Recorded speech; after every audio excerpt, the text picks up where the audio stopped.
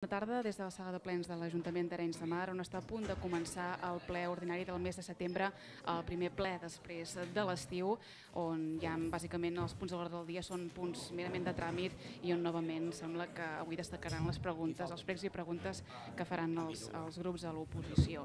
També sabem de mocions que seran protagonistes, com la moció en què es demana l'adhesió de l'Ajuntament d'Arenys de Mar a la xarxa de Poble Refugi i també una moció que vol entrar, eh, que volen entrar els grups de l'oposició sobre un tema vinculat al, a l'esport. Uh, tenim tots els regidors ja sentats a, a la taula, uh, l'alcalde a punt, uh, per tant, en els moments donem pas a l'inici del ple. Escoltem ara sí l'alcalde Estanis Forts. Molt bona nit a tothom. Uh, comencem aquest ple ordinari del mes de setembre. Primer de tot, doncs, excusem la presència del regidor de la CUP, per motius laborals doncs, no ha pogut assistir. Abans de tot, portem a urgència un, una moció que s'ha entrat per urgència i que per tant es té que votar a l'urgència eh, que és sobre temes del món esportiu. Eh, si algú vol intervenir... Val. Votem doncs aquesta urgència d'aquesta moció. Vots a favor? 9. Abstencions? 7. Per tant, queda aprovada aquesta moció. Uh, Dir-los que aquest govern per primera vegada... 7. Dir-los que el govern no ha votat a favor d'aquesta moció perquè no s'ha tingut en compte en el, en el govern ni s'ha volgut parlar ni consensuar un tema que tots estaríem d'acord amb el govern. S'ha pensat que com que tenia majoria a l'oposició han cregut oportú doncs, ni comentar en el govern els temes que fan. Tenen tot el dret del món, però les formes eh, que deixa molt per desitjar. El primer punt de l'ordre del dia seria l'aprovació dels esborranys de les actes de les sessions celebrades els dies 23 de juliol i 2 de setembre del 2015. Alguna objecció? Si no hi ha intervencions, portem aprovació, que és aprovació dels esborranys de les actes de les sessions celebrades els dies 23 de juliol i 2 de setembre del 2015. Vots a favor? 16, eh, unanimitat, queda aprovat aquest, punt, aquest primer punt de l'ordre del dia. El següent punt de l'ordre del dia seria l'aprovació de la modificació de la periodicitat de les sessions del ple de l'Ajuntament. I, I diu així, atès que el ple de l'Ajuntament en sessió extraordinària celebrada el 2 de juliol del 2015 va acordar el següent, establir que les sessions ordinàries del ple de la corporació celebraran el tercer dijous de cada mes a les 20 hores a la sala de plens municipal. Atès que a efectes de millorar el desenvolupament de les sessions plenàries es considera convenient modificar l'hora d'inici de les sessions i aquesta sigui a les 19 hores.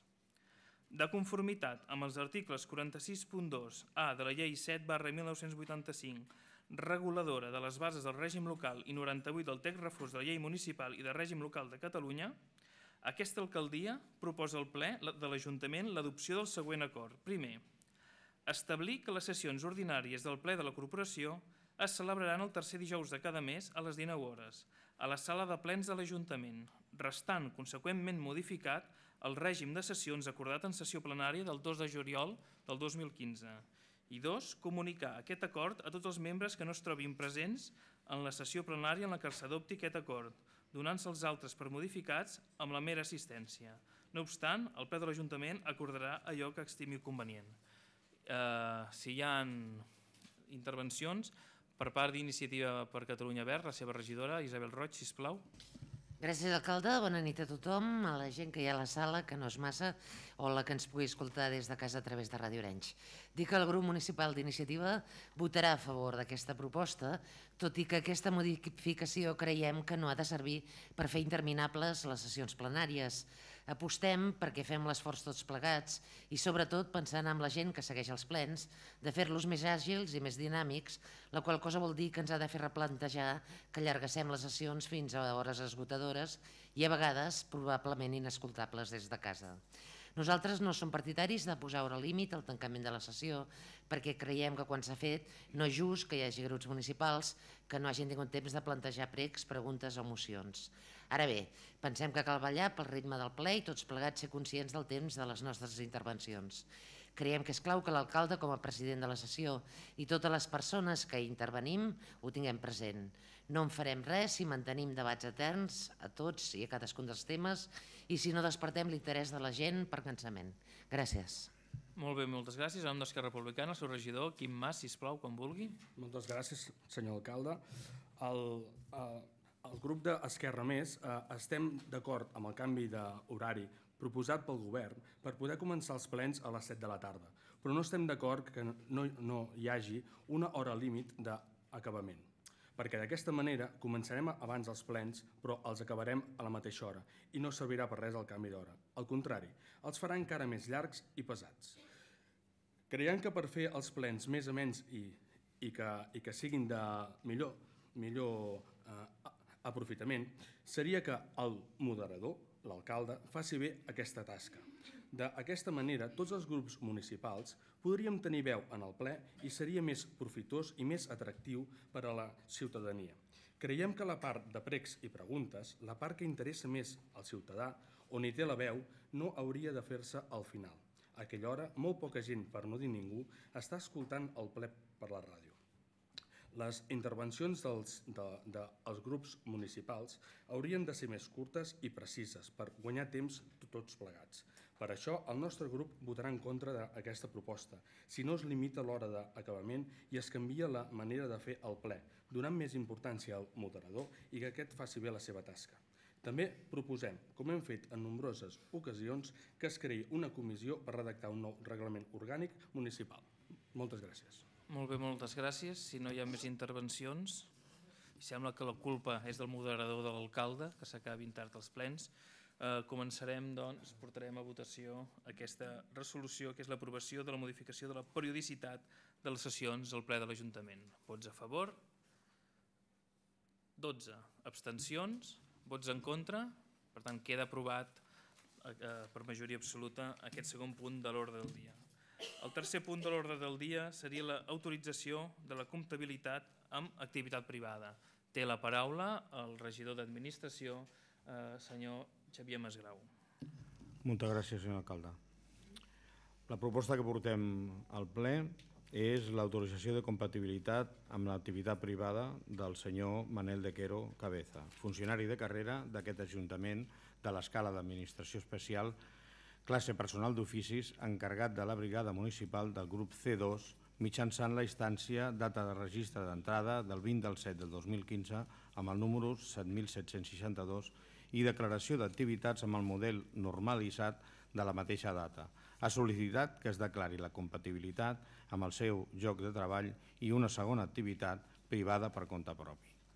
Amb la seva declaració manifesta que exercirà l'activitat privada a l'empresa De Quero Abogados amb horari de 17 hores fins a 20, de dilluns a divendres, amb una jornada setmanal de 15 hores.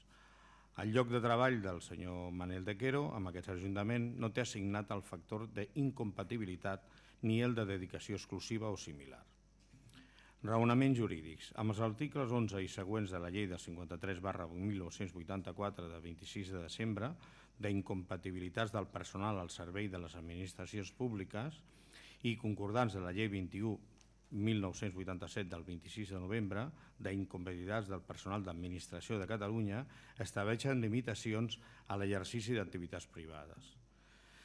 Amb l'article 329, en relació a l'article 330 del decret de 214 barres 1990 del 30 de juliol, pel que s'aprova el reglament del personal al servei de les entitats locals, estableixen la possibilitat de reconèixer la compatibilitat per l'exercici d'activitats privades sempre que la suma de les jornades de l'activitat pública i principal de les activitats privades no superi la jornada ordinària establerta amb l'entitat local incrementada amb un 50% i que no hagi coincidència horària amb l'exercici de les activitats. L'article 22 de la llei 21 barra 1987 de la llei d'incompatibilitats esmentades estableix que la competència per fer les declaracions de compatibilitat correspon al ple de la corporació.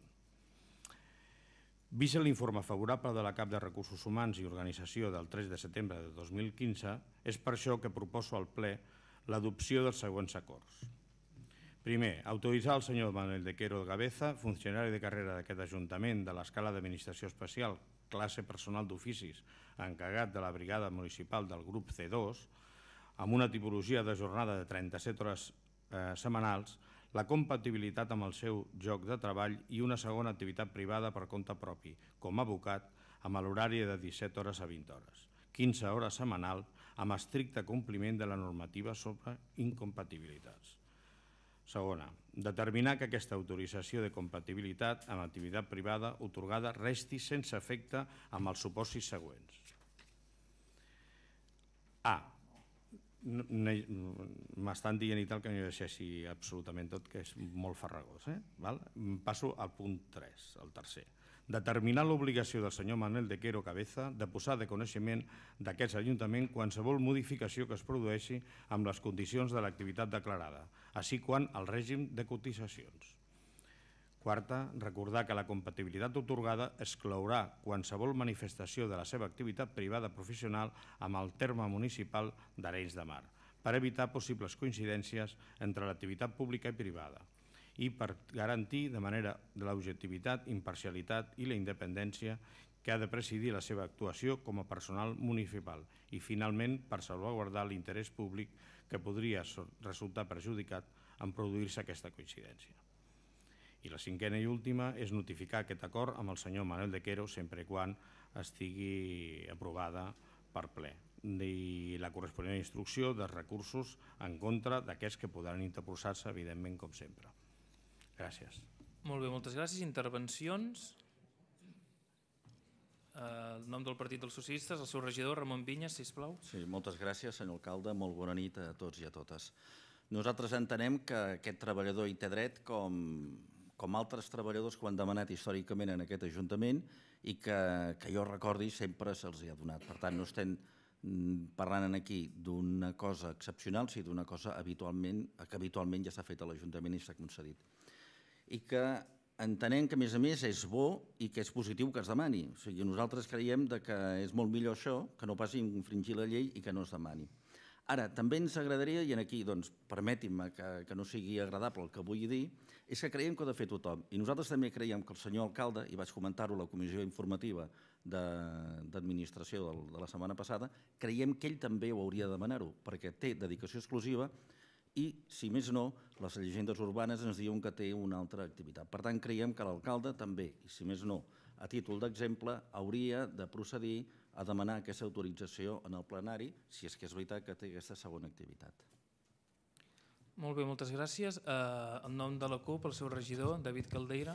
Gràcies, senyor alcalde. Eh, bon vespre a qui ens escolta.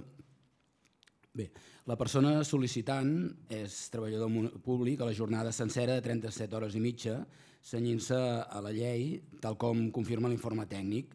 Sol·licita autorització per ampliar la seva jornada laboral dedicant 15 hores setmanals més a un projecte propi. Això equival a passar a treballar de 7 hores i mitja al dia a treballar-ne 10 hores i mitja al dia. La CUP d'entrada no estem d'acord amb aquesta demanda perquè topa amb el nostre ideari, amb la nostra manera de pensar respecte al treball, com a mínim en els dos punts que ara explicarem. El primer, el repartiment de la feina, del treball. Pensem que l'atur serveix com una arma de, les patronals per atemorir a la classe treballadora. El 20% de l'atur actual podria quedar reduït a un nivell residual si la jornada laboral passés de 8 a 6 hores i mitja. I la despesa en prestacions d'atur que té l'Estat actualment podria anar a compensar la pèrdua de poder adquisitiu dels treballadors mitjançant una renda bàsica universal. De retruc, milloraria el rendiment, el temps per a la formació contínua i la conciliació amb la vida familiar. França ja ho va intentar, però que els resultats no hagin estat els esperats no vol dir que el model no funcioni, és que potser no interessava. En resum, cal repartir la feina per repartir la riquesa. I segon plantejament, segon argument, el rendiment i la motivació. Ampliar la jornada de 10 hores i mitja dia al dia segur que va en detriment del rendiment. A més, és previsible pensar que el senyor de Quedo estarà més motivat en el seu projecte personal, els ingressos dels quals depenen del seu rendiment, que no pas per la seva tasca pública. No dubtem de la seva bona voluntat. La voluntat del senyor de Quero és simplement una qüestió de sentit comú. Per tot això hi votarem en contra, perquè pensem que perjudicarà el rendiment de la seva tasca pública i perquè no estem d'acord en els límits d'aquesta llei d'incompatibilitats. Alguna intervenció més? A mi m'agradaria que el secretari públicament digués alguna cosa sobre allà que arribem a aquests extrems de la política on s'atreveixen a plantejar aquestes coses. Si us plau, secretari, podria dir si jo, amb un negoci familiar de 48 anys, puc, quan tinc temps, al cap de setmana una estona, anar a la botiga de la meva dona a esmorzar i despatxar una estona? Si us plau, podria dir si és compatible o no?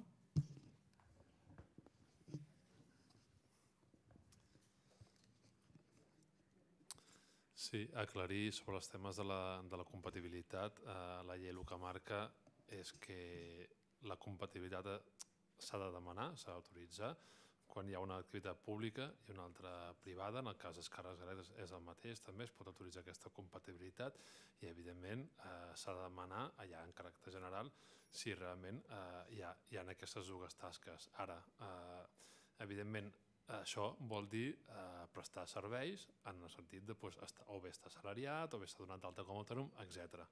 Si això no s'escau, doncs per tant no, no cal declarar eh, aquesta compatibilitat. M'explico? Sempre hi han d'haver-hi dues, dues tasques o dues feines, millor dit, una pública i en aquest cas que estem parlant d'una activitat privada per, perquè s'hagi de plantejar aquesta autorització. Si no hi ha una activitat privada en el sentit de que la persona en concret, estem parlant de l'alcalde, doncs estigui as, as, assalariat per aquesta empresa o estigui donat d'alta com a autònom, etc., no cal demanar aquesta compatibilitat.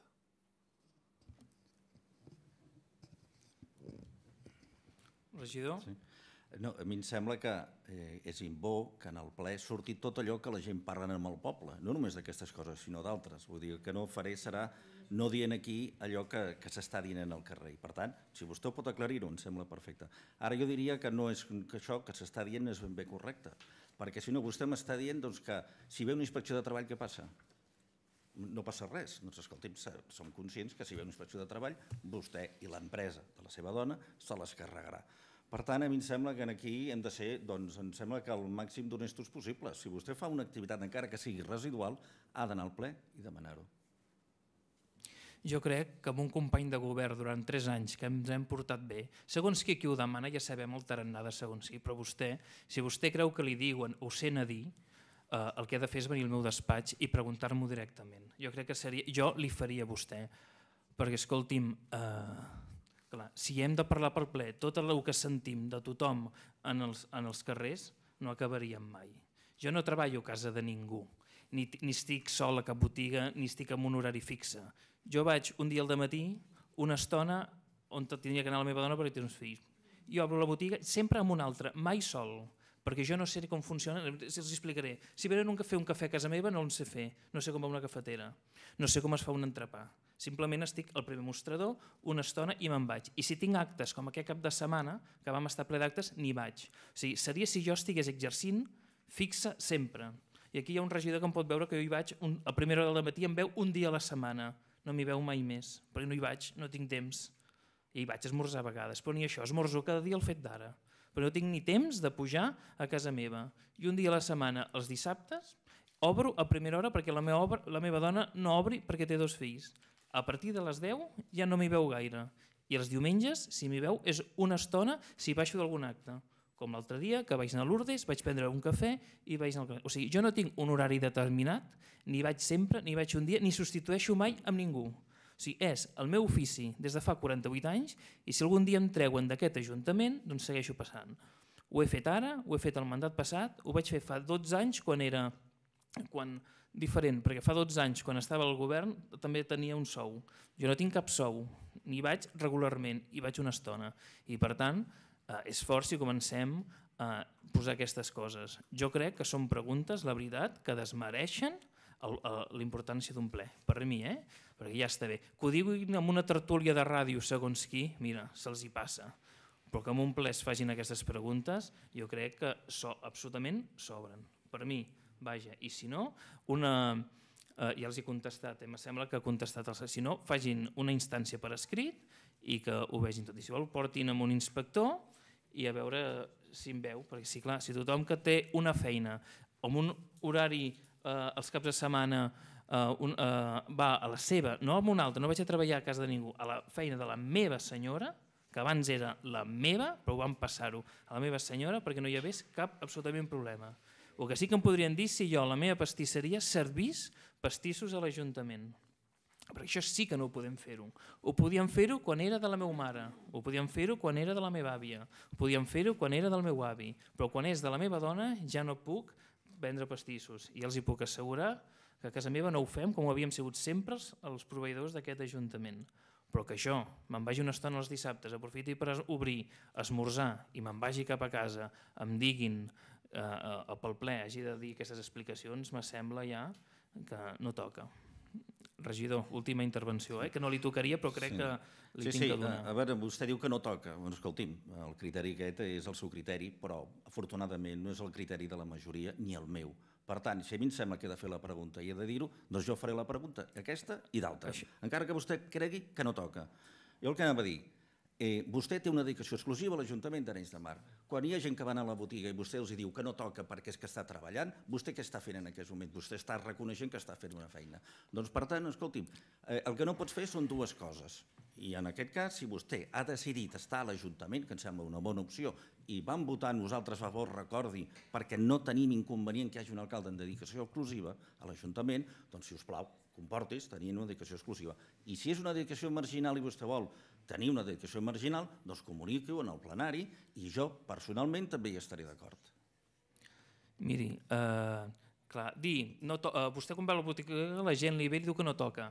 Evidentment, quan és un cap de setmana i jo estic esmorzant, evidentment que no toca que entrin a la botiga, però estigui treballant o estigui amb les meves filles. O sigui, això de que ens pensem i teníem que ser els primers d'aquí, els que tenim una dedicació, no dedicació exclusiva, encara que siguem només regidors d'aquest Ajuntament, no pot ser que qualsevol hora et vingui la gent que estàs dinant en un restaurant amb la família i et vinguin a preguntar coses. Se'ls té que dir que si el que volen solucionar és a l'Ajuntament. Per tant, quan no toca a la pastisseria o quan no toca en un restaurant és perquè un està amb la família, no perquè estigui treballant. O sigui, no toca en un negoci d'un ni que estigui prenent un cafè venir a demanar problemes a l'Ajuntament. O sigui, quan se'ls diu que aquí no toca, també els dic quan estic sentat en un altre lloc amb la meva família i em pregunten si, que si poden atendre'm. Dic, vinguin a l'Ajuntament. Per tant, clar que no toca sempre ni a tota hora, perquè som, encara que tinguem dedicació exclusiva, no treballem les 24 hores per l'Ajuntament. Que la gent els quedi clar, no estem a les 24 hores pendents, tenim una família i tenim coses, i per tant no som esclaus, no confonguem a la gent que estem a les 24 hores de ningú. O sigui, tenim una vida privada i podem estar amb els nostres fills anant a l'escola i, per tant, si algú et ve expressament a dir-te és que vull parlar amb tu, doncs, si hi ha moments que els dius vine a l'Ajuntament, no vinguis aquí. Per tant, no crec que sigui a dir, dir no toca a la pastisseria. A la pastisseria, i on te calgui, direm, si ens creuen per tu, doncs que en aquest moment no els podem atendre. Perquè la gent el que vol és que els hi solucionem les coses. I quan un vol solucions i vol que els hi solucionem les coses, el que vol és que els hi donem informació. I a vegades si no estàs a l'Ajuntament i tens els tècnics adients del cantó, no els hi podem donar. I a vegades us, ens ha passat a tots que ens han dit alguna cosa al carrer Després ens n'hem oblidat i la gent ja dona per suposat que t'ho ha dit i que li tens que resoldre. Per tant, jo acostumo a quan em paren pel carrer demanant-me alguna cosa, els hi demano, un, el primer que ha de fer la gent si volen ser ben resolt, que facin una instància. Dos, que demanin per l'alcalde qualsevol regidor, el que sigui i els podrem atendre, perquè no podem començar a rebre gent ni agafar llibre... No sempre tenim una llibreteta per poder apuntar els problemes d'una persona. I evidentment tothom sap que hi ha problemes urgents que s'han de resoldre al moment i ho fem. Hi ha altres que són coses que poden esperar a, doncs, quan hi ha l'Ajuntament obert, que déu nhi les hores que està obert aquest Ajuntament matí tarda cada dia. Molt bé, portem doncs a aprovació és l'autorització per la comptabilitat amb activitat privada. Vots a favor? 14. Abstencions? 1. Bons en contra? 1. Per tant, queda aprovat aquest punt de l'ordre del dia. El quart punt de l'ordre del dia seria l'aprovació de la modificació de la relació de llocs de treball a l'Ajuntament d'Arenys de Mar. Eh,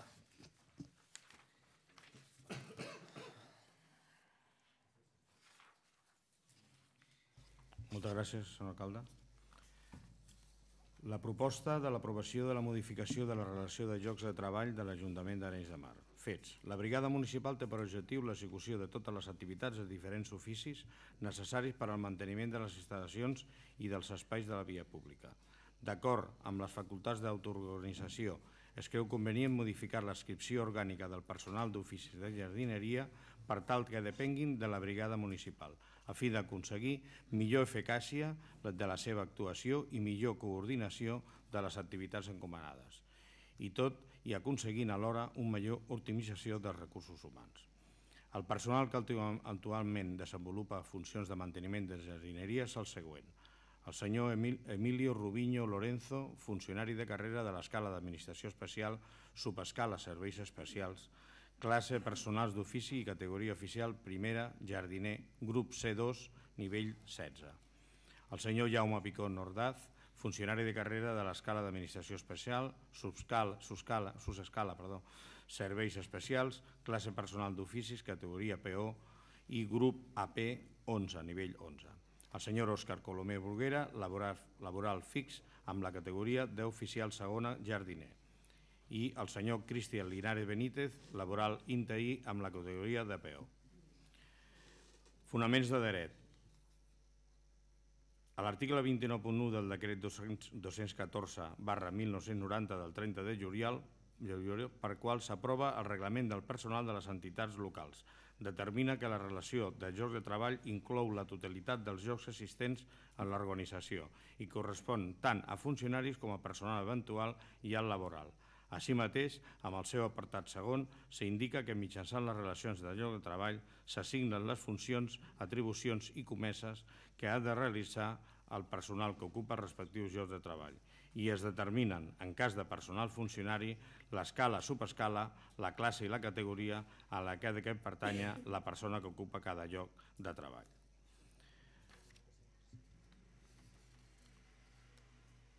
Per això es proposa l'adopció de següents acords per part del ple municipal.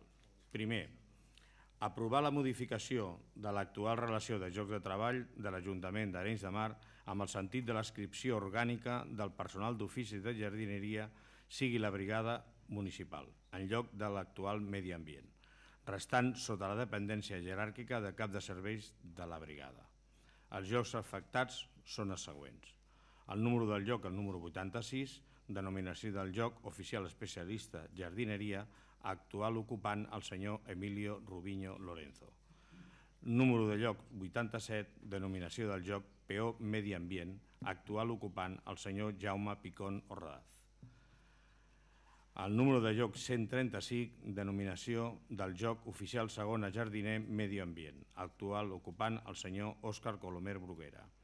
I el número de joc 191, denominació del joc PO Medio Ambient, actual ocupant el senyor Cristian Linares Benítez. Segon, publicar la modificació de la relació de joc de treball de l'Ajuntament d'Arenys de Mar amb el butlletí oficial de la província de Barcelona. I tercer, notificar aquest acord amb els empleats senyor Emilio Rubiño Lorenzo, el senyor Jaume Picón Ordaz, el senyor Òscar Colomer Bruguera i el senyor Cristian Linares Benítez, així com al comitè d'empresa i a la Junta de Personal amb el corresponent instrucció dels recursos que contra aquests poden interposar-se i comunicar-lo als serveis econòmics. Moltes gràcies. Molt bé, moltes gràcies. En nom d'iniciativa, la seva regidora Isabel Roig, sisplau. Gràcies, alcalde. Bona nit de nou.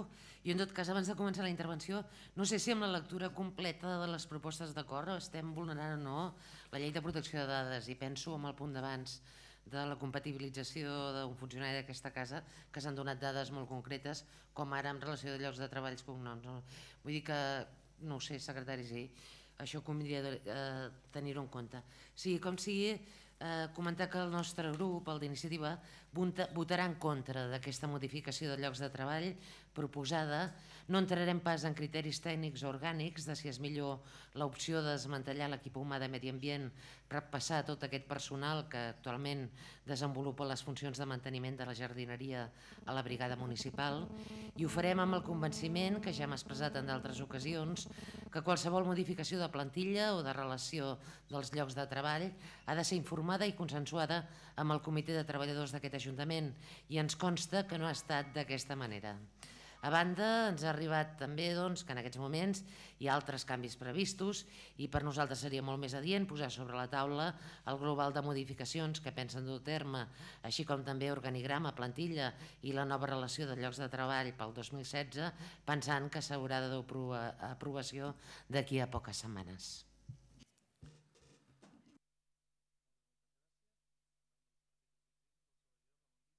Nosaltres, eh, quan vam venir de la brigada cap a l'Ajuntament, hi venia un cap i ara el cap es queda aquí a l'Ajuntament.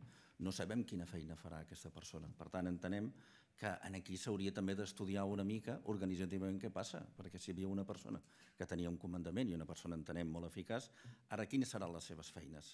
Entenem que aquí hi ha un buit que en aquest moment, diem, la brigada torna, torna un personal, però la CAP, eh, què comandarà? Molt bé, en nom d'Esquerra Republicana, seva regidora, eh, Laia Martín, si plau. Gràcies, senyor alcalde. Nosaltres votarem en contra d'aquesta modificació. I votarem en contra perquè no entenem a què respon aquest canvi. El mandat passat van passar el personal de jardineria de brigada Medi Ambient i ara es fan enrere. Entenem que no passa res per fer canvis i si aquests no funcionen, fer les modificacions que faci falta. Uh, però el que no es pot és anar fent provatures sense tenir clar quin és el model que es vol, perquè qui se n'acaba ressentint són els treballadors i el funcionament de l'Ajuntament. Per nosaltres, la composició de les àrees de l'Ajuntament ha de respondre a criteris tècnics per assegurar-ne el millor funcionament i maximitzar-ne l'eficiència. En aquest cas ens trobem amb un canvi important, que pràcticament suposa el desmantellament de l'àrea de medi ambient sense disposar d'un informe tècnic de les dues àrees afectades, medi ambient i brigada. A què respon aquest canvi? Quins són els criteris utilitzats? No es pot obviar el criteri dels tècnics, que són els experts en la matèria, i per això creiem que faria falta un informe. Perquè els equips de persones funcionin, els cal estabilitat i un tracte de consideració i respecte. Com la vegada passada, es fa aquest canvi sense, sense avisar la responsable del personal que canvia d'àrea, que tornarà de vacances i es, trobaria, es trobarà que li han desmuntat l'equip. Si es vol que l'Ajuntament funcioni, cal que els treballadors se sentin recolzats pel govern i és ben clar que amb actuacions com aquestes no es facin a jugar-hi en contra. Molt bé, moltes gràcies. Miri, a, a part de que tenim l'informe positiu de recursos humans, per tant, que és l'informe preceptiu que es necessita, jo crec que passar els treballadors de jardineria a la brigada és més un tema de cada regidor quan vol treballar i com vol organitzar la seva àrea. El mandat passat van passar aquests treballadors que formaven part de la brigada a jardineria i crec que va funcionar molt bé. Hi havia, el tècnic va decidir, el regidor va decidir-ho així. Aquest cop, regidoria, vostès sabran que la regidor, els treballadors de la brigada i treballadors de, de jardineria, doncs, moltes vegades la feina doncs, es barreja i per tant enteníem que la regidora, i aquí la, la regidora Soraya Real va demanar doncs, poder fer canvi perquè entén en temes d'efectivitat poder ella, quan s'organitza doncs, tot el tema de jardineria i de, i de... A vegades ja saben que es confonen qui ha de fer una cosa a la brigada o els jardiners. Per tant, enteníem que es tenia que fer tal com està, eh, tenim muntat l'Ajuntament en aquest moment, a través del CAP tenia que ser la regidor, la regidor, la regidor, eh, la, la regidora mm, Soraya Real. Per tant, escolti'm, jo crec que hi ha canvis que són molt més que so, poden canviar molt més, però aquí en tot cas el que és és d'organització interna dels regidors. I per, al igual que el mandat passat va funcionar molt bé que la regidoria la tingués el regidor de Medi Ambient, aquest cop entenem doncs, que pot funcionar molt bé que el regidor sigui de la brigada perquè té les directrius així donades. Per tant, de moment hem fet un pas, a nosaltres no se'ns ha queixat cap treballador, eh, fins i tot eh, se'ls ha parlat la regidora abans de fer el canvi, evidentment va parlar amb, amb tothom que tenia que parlar, i tothom té clares les seves funcions i després de, jo crec que unes bones tardes de poder parlar amb ells, doncs s'ha decidit aquest canvi. Per tant, eh, vostè vol dir alguna paraula, regidora? Doncs, si plau. Sí, gràcies. Bona nit a tothom. Una cosa ràpida només perquè, perquè no hi hagi sospites de, de coses rares. Tots els companys que han de passar si votem a favor a la brigada i estan d'acord. Jo hi vaig parlar amb ells i estan d'acord i encantats. sap greu que s'anomeni els tècnics sense tenir ni idea, perquè clar, si vostès des d'Esquerra diuen que nosaltres no hem tingut en compte els tècnics, entenc que deu ser perquè han parlat amb aquests tècnics. Ho entenc. Clar, jo també hi he parlat amb ells i justament aquest canvi no només es fa perquè jo pensi com a regidora de la brigada que funcionarà millor, sinó que es fa perquè els tècnics alguns tècnics, sobretot, demanen aquest canvi. Per tant, mm, més que res perquè ho sàpiguen. Eh? En aquest cas és una demanda des de fa dos anys del tècnic de la brigada. que passa és que fa dos anys el regidor de Medi Ambient doncs, va considerar que ho faria millor des d'aquí i es va i se li va donar l'opció. Ara estic jo i doncs, penso que, que funcionarem millor des d'allà. Però que quedi molt clar que el tècnic de la brigada, en aquest cas, que és el que demana el servei des de fa temps. Regidora, quan vulgui. Nosaltres el que hem dit és que no hi ha informe tècnic, en tot cas no, que no s'hagi tingut en compte els tècnics i doncs si ja s'ha tingut en compte els tècnics perquè no podem veure aquest informe, simplement és això. Vull dir, entenc que si estan d'acord no hi hauria d'haver cap problema en tenir aquest informe. No, no, no de, està claríssim que no hi ha cap problema per tenir informes. Clar, és que si vostès creuen que és efectiu, que és ràpid i que és tot eh, perfecte tenir un informe d'un tècnic, doncs bueno, a partir d'ara doncs ja parlem així. En tot cas, vostè ha dit que no hem tingut en compte els tècnics. Ho ha dit, eh? pot revisar el que ha escrit, ho ha dit clarament. I a més a més ha dit doncs, que presumptament no tractem bé el personal fent-li això. Vull dir, mm, jo he parlat amb el personal i he parlat amb els tècnics i tots els equips, tant de medi ambient com de brigada, han estat d'acord. No s'ha fet cap moviment sense que ells ho sabessin. Llavors, jo només ho dic només perquè la gent entengui que no es fan coses rares ni maniobres estranyes, que es fa tot consensuat i sempre pensant en l'efectivitat del servei i en el bon funcionament pel poble. Simplement, eh? perquè jo penso que anirem molt millor si puc coordinar la brigada i jardineria. Si vostè creu que no, jo ho he d'acceptar, eh? però és així només. Gràcies. Molt bé, per tant, portem a aprovació aquest quart punt d'ordre del dia, que sigui l'aprovació de la modificació de la relació de llocs de treball de l'Ajuntament d'Arenys de Mar. Vots a favor? 9. Abstencions? Vots en contra? 7. Per tant, queda aprovada aquesta modificació. El cinquè punt d'ordre del dia seria l'aprovació inicial de la proposta de numeració de les vies públiques a la zona del Montmar i nomenclàtor i numeració d'un carrer del sector Breu Paraíso i numeració d'una zona verda municipal situada al Portimar 2, redactat pels serveis tècnics municipals. Té la paraula el regidor d'Urbanisme, senyor eh, Xavier. Moltes gràcies, senyor alcalde. A veure, això és l'aprovació inicial de la proposta de numeració de les vies públiques de la zona de Montmar i nomenclàtor i numeració d'un carrer del sector Barrio Paraíso i numeració d'una zona verda municipal al Portimar 2. Vist que el nou carrer que uneix el sector Bareu Paraíso no disposa de nom ni tampoc de numeració i que el sector Montmar presenta una disfuncionalitat important en qual a la numeració de les vies públiques, al igual que la finca destinada a la zona verda situada a Portimar 2. Vista la proposta tècnica presentada elaborada per serveis tècnics municipals a fin d'aprovar la numeració de les vies públiques de la zona de Montmar, així com el seu nomenclàtor i numeració amb el nou carrer de l'Eix 4, que urbanísticament pertany al sector sud Bareu-Paraíso, que uneix a la zona de Bareu-Paraíso a la zona de Montmar, i la numeració d'una zona verda municipal situada a Portimar 2. Vist l'informe emès de data 2 de setembre del 2015 per la tècnica de serveis territorials sobre la tramitació i procediment de l'expedient, vist l'acord de l'article 86 de la llei 30 1992 de novembre de règim jurídic de les administracions públiques i del procediment administratiu comú i atesa la repercussió d'aquests acords, es pot establir un període d'informació pública. Vist el que preveu l'article 105 del decret 336 barra 1988 de 17 d'octubre per al qual s'aprova el reglament del patrimoni dels cens locals, amb l'article 222 del decret 2 barra 2003 pel qual s'aprova el text refós de la llei municipal i de règim local de Catalunya, aquesta competència reclau al ple. D'acord amb l'exposat, es proposa al ple de la corporació l'adopció de diferents eh, l'adopció dels següents acords. Primer, aprovar inicialment la proposta de numeració. A proposta, perdó, eh? la proposta de numeració de les vies públiques de la zona Montmar i de nomenclàtor numeració d'un carrer del barri Paraíso amb una zona verda municipal de Portimar redactat per serveis tècnics municipals. sotmetre a l'expedient a informació pública per un termini d'un mes als efectes de presentació d'al·legacions mitjançant exposició en el BOP al taulell d'anunci de la corporació i a la pàgina web municipal i fer una notificació individualitzada als interessats. L'expedient s'entendrà que resta aprovat definitivament pel cas que el termini d'informació pública indicat no es presenti cap al·legació. Tercer, notificar d'ofici les modificacions de dades incloses dels particulars, afectats una vegada aprovat definitivament l'expedient a l'Institut Nacional d'Estadística, a l'Organisme de Gestió Tributària de la Diputació de Barcelona i a la Direcció General del Catastre i comunicar a l'Oficina d'Adaptació del Ciutadà de l'Ajuntament a efectes de modificació del padró municipal. I quart, i últim, una vegada aprovat definitivament l'expedient, es transmetrà un certificat relatiu al canvi de numeració i nova adreça correcta a fi de que el particular procedeixi a efectuar els canvis que consideri els efectes de la gestió del servei de correus d'aquest municipi. Moltes gràcies, senyor Molt bé, alcalde. moltes gràcies. En nom d'iniciativa, la seva regi- regidora Isabel Roig, sisplau, quan vulgui. Sí, alcalde, gràcies.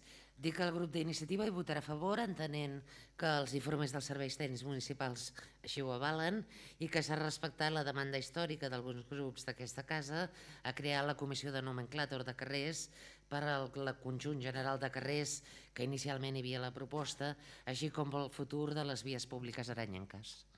Molt bé, moltes gràcies, regidora. En nom de la CUP, el seu regidor, David Caldeira, sisplau. Gràcies, senyor alcalde. Bé, posar en ordre la numeració i el nomenclàtor de les vies públiques a la CUP ja, ja ens està bé, però cal que, que el procés de numeració no sigui tan llarg com l'obra de la Seu. I diem això perquè estem parlant de numerar de manera definitiva tot de finques ubicades en carrers batejats des de 1995. 20 anys més tard, algunes d'aquestes finques passen del sense número a tenir número. La CUP hem parlat amb el veïnat i ha quedat palès que per qui ha patit aquesta situació això li ha generat molts conflictes. A tall d'exemple, perquè ens han fet càrrec, eh, correspondència, serveis, urgències mèdiques, bombers, etc. I afegim, no és un problema aïllat. El camí vell del mal temps acaba a tocar del Bareu i tot i començar a tocar de Canet amb el número 1, el veïnat que viu al final del carrer, perquè ens entenguem, ubiquem, i perquè l'ubiquem darrere la plaça de les Olles a tocar del Bareu, doncs aquests pisos encara viuen en el sense número. Esperem que segueixin la mateixa sort que el Montmar. I un altre greuge que cal corregir, tampoc aïllat, i que ha afectat a un dels propietaris que van entrar a una instància reclamant la regularització que avui portem a aprovació. Els propietaris en qüestió van entrar a una instància en data de 7 d'octubre de, mil, de 2014, perdó. Farà d'aquí poc un any. I no han rebut cap resposta al respecte. Són dinàmiques que la CUP pensem que cal millorar per no allunyar del poble precisament les institucions. Amb tot, el sentit del vot de la CUP també serà favorable en aquest punt. Molt bé, en nom d'Esquerra Republicana, la seva regidora, Anabel Moreno, sisplau. Gràcies, senyor alcalde. Bona nit a tothom. Bé, Esquerra també votarà a favor en aquest punt. Només eh, fer una consideració, i és que en la comissió informativa, tant de dimecres passat, tant en aquest punt com en el següent, que també és eh, bueno, una numeració d'una part del poble, eh, es va demanar des d'aquest grup municipal i s'ha demanat en nombroses ocasions que d'una vegada per totes es creï la comissió de nomenclàtor, eh, però que aquesta vegada vagi, seriosament, perquè en l'anterior mandat es van a posar els carrers, noms de carrers, ja ho vam demanar i ha passat un mandat, no s'ha convocat aquesta comissió de nomenclàtor i esperem que aquesta vegada doncs, així sigui perquè a més es va comprometre el regidor de torn. Molt bé, moltes gràcies. Si no hi ha més aportacions, posarem a votació aquest cinquè punt de l'ordre del dia, que seria l'aprovació inicial de la proposta de numeració de les vies públiques a la zona del Montmar i nomenclàtor i numeració d'un carrer del sector Bareu Paraíso i numeració d'una zona verda municipal situada al Port i Mardó, redactat pels serveis tècnics municipals. Vots a favor? 16, unanimitat. El sisè punt de l'ordre del dia seria l'aprovació de l'aplicació de la bonificació en l'impost municipal sobre construccions, instal·lacions i obres a l'edifici plurifamiliar situat a la zona portuària sense número Àtic A, edifici Montcalvari. Torna a tenir la paraula el regidor Xavier Masgrau, regidor d'Urbanisme. Moltes gràcies, senyor alcalde. Això és l'aprovació de l'aplicació de bonificació de l'impost municipal sobre construccions, instal·lacions i obres a l'edifici plurifamiliar situat a la zona portuària, sense número, àtic 2 de l'edifici Mont Calvari d'Arenys de Mar. Vist que en data de 22 de desembre de 2014 el senyor Manel Armengol Carrasco va presentar davant de la Diputació de Barcelona un número de registre d'entrada al 14 barra 283-957, un escrit on sol·licitava la bonificació del 95% de l'ICIO amb el càlcul de liquidació de la quota d'aquest impost en relació a la llicència d'obra sol·licitada amb la mateixa data davant de l'Ajuntament d'Arenys de Mar, amb el número de registre d'entrada 10.555. Vist que per decret 240 barra 2015 en data 6 de març es va atorgar al senyor Mangol Carrasco llicència d'obres menors per efectuar reformes interiors de l'habitatge de l'edifici plurifamiliar situat a la zona portuària a l'edifici Molt Calvari d'aquesta localitat. Vist l'article 6 de l'ordenança fiscal número 6 reguladora de l'impost municipal sobre construccions, instal·lacions i obres, amb el qual, amb el qual direct, literalment diu Sí, vale. Eh, la declaració d'especial interès o utilitat municipal correspondrà al ple de la corporació i s'acordarà, prèvia sol·licitud del subjecte passiu, per vot favorable de la majoria simple dels seus membres. Vist l'informe favorable de la declaració de part d'aquestes obres com a especial interès o utilitat pública emès per l'arquitecte municipal en data 8 de juliol de 2015, vist l'informe favorable emès en, dos, en data 2 de setembre per la tècnica de serveis territorials. D'acord amb l'exposat es proposa al ple de la corporació la dotació dels següents acords.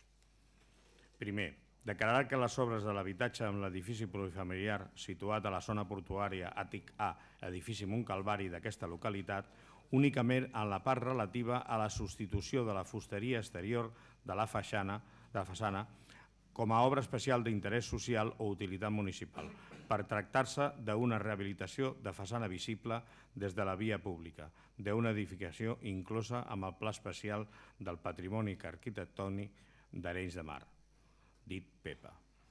Segona, aprovar l'aplicació d'una bonificació del 95% de l'impost de la construcció sobre construccions, instal·lacions i obres amb llicència d'obres de l'edifici plurifamiliar situat a la zona portuària Àctic A, edifici Montcalvari d'aquesta localitat, en la part d'obles declarades d'especial especial interès social o utilitat municipal. Mm, acabo només dient que em penso que l'import de la totalitat que ells demanaven era molt més gran, però l'únic que s'ha fet és exclusivament eh, posar amb, amb acord només la part diguem de la fusteria exterior, ja que la part interior és un tema que no està protegit pel patrimoni pel PEPA i em penso que aproximadament, si no recordo malament, són 512 euros de, de bonificació. Moltes gràcies.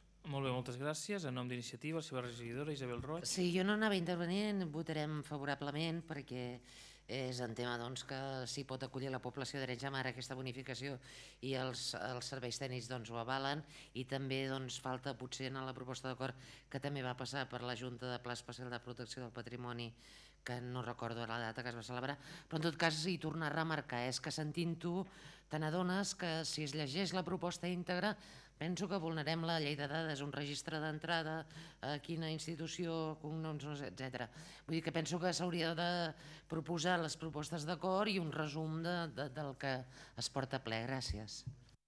Uh, en nom de la CUP, el seu regidor, David Caldeira. Gràcies, senyor alcalde. Bé, el grup municipal de la CUP entenem que es bonifiqui en l'impost de construccions, instal·lacions i obres, l'ICIO, els propietaris de les façanes que explícitament ho demanin i compleixin els requisits que s'especifiquen a l'article 6 de l'ordenança fiscal per ser declarades d'especial interès o d'utilitat municipal per concórrer circumstàncies socials, culturals, històriques o artístiques. I en l'edifici que ens ocupa en aquest punt de ple, a banda de concórrer motivacions de protecció del patrimoni, també hi ha un bon motiu, es fomenta l'ocupació i actualment Arran de la profunda crisi que patim, el foment de l'ocupació sí que acaba sent un bon argument per bonificar aquest impost als propietaris. Val a dir, però, que tampoc ha de ser determinant ni s'hi val tot. Així, el grup municipal de la CUP hi votarem a favor. I ho farem en aquest sentit perquè entenem que cal fomentar l'ocupació, perquè apostem per envellir l'estètica de la vila, perquè hi volem una cohesió també estètica i arquitectònica i perquè tot això no només ho volem al nucli antic. I més arguments encara perquè hi ha una crisi prèvia a la crisi econòmica, que aprofitem per dir que no ens afecta de fa 3 anys, sinó que els països catalans l'espoli fiscal que patim ve de molt més enrere. Però tornant al tema que ens afecta, doncs, com dèiem, hi ha una crisi anterior que és la crisi que ha patit el territori aquests darrers 30 anys i que ha afectat també tot aquell teixit productiu que alhora endreçava i entreia un rendiment. I per acabar-ho d'adobar, un govern anterior del PP va decretar que només es pagués l'impost d'activitats econòmiques, l'IAE, aquelles empreses que superessin el milió d'euros, amb la qual cosa aquest impost quedà pràcticament desaparegut quan era, aquest impost, un dels que realment ajudava a tirar endavant els ajuntaments. I fruit d'aquesta supressió, molts ajuntaments van trobar en el territori una nova i suculent font d'ingressos i es va permetre construir a quasi tot arreu i d'aquesta manera el territori s'ha acabat de trinxar. Del resultat de tot plegat, si una cosa s'ha après és que la crisi, de la crisi en sortirem, a banda de fer canvis profuns, doncs impulsant economies productives i no especulatives, arrelades, assumibles i respectuoses amb el territori i fonamentades en un creixement vegetatiu. Això vol dir, en altres paraules, que tot allò que passi per la rehabilitació serà tot allò que el territori i les generacions futures ens agrairan, a favor de la preservació i en contra de la destrucció. I aprofitem també per recordar una proposta que sempre fem quan tractem aquest tema. De cara al debat de les ordenances fiscals pel 2016, caldrà, caldrà revisar a fons l'ICIO.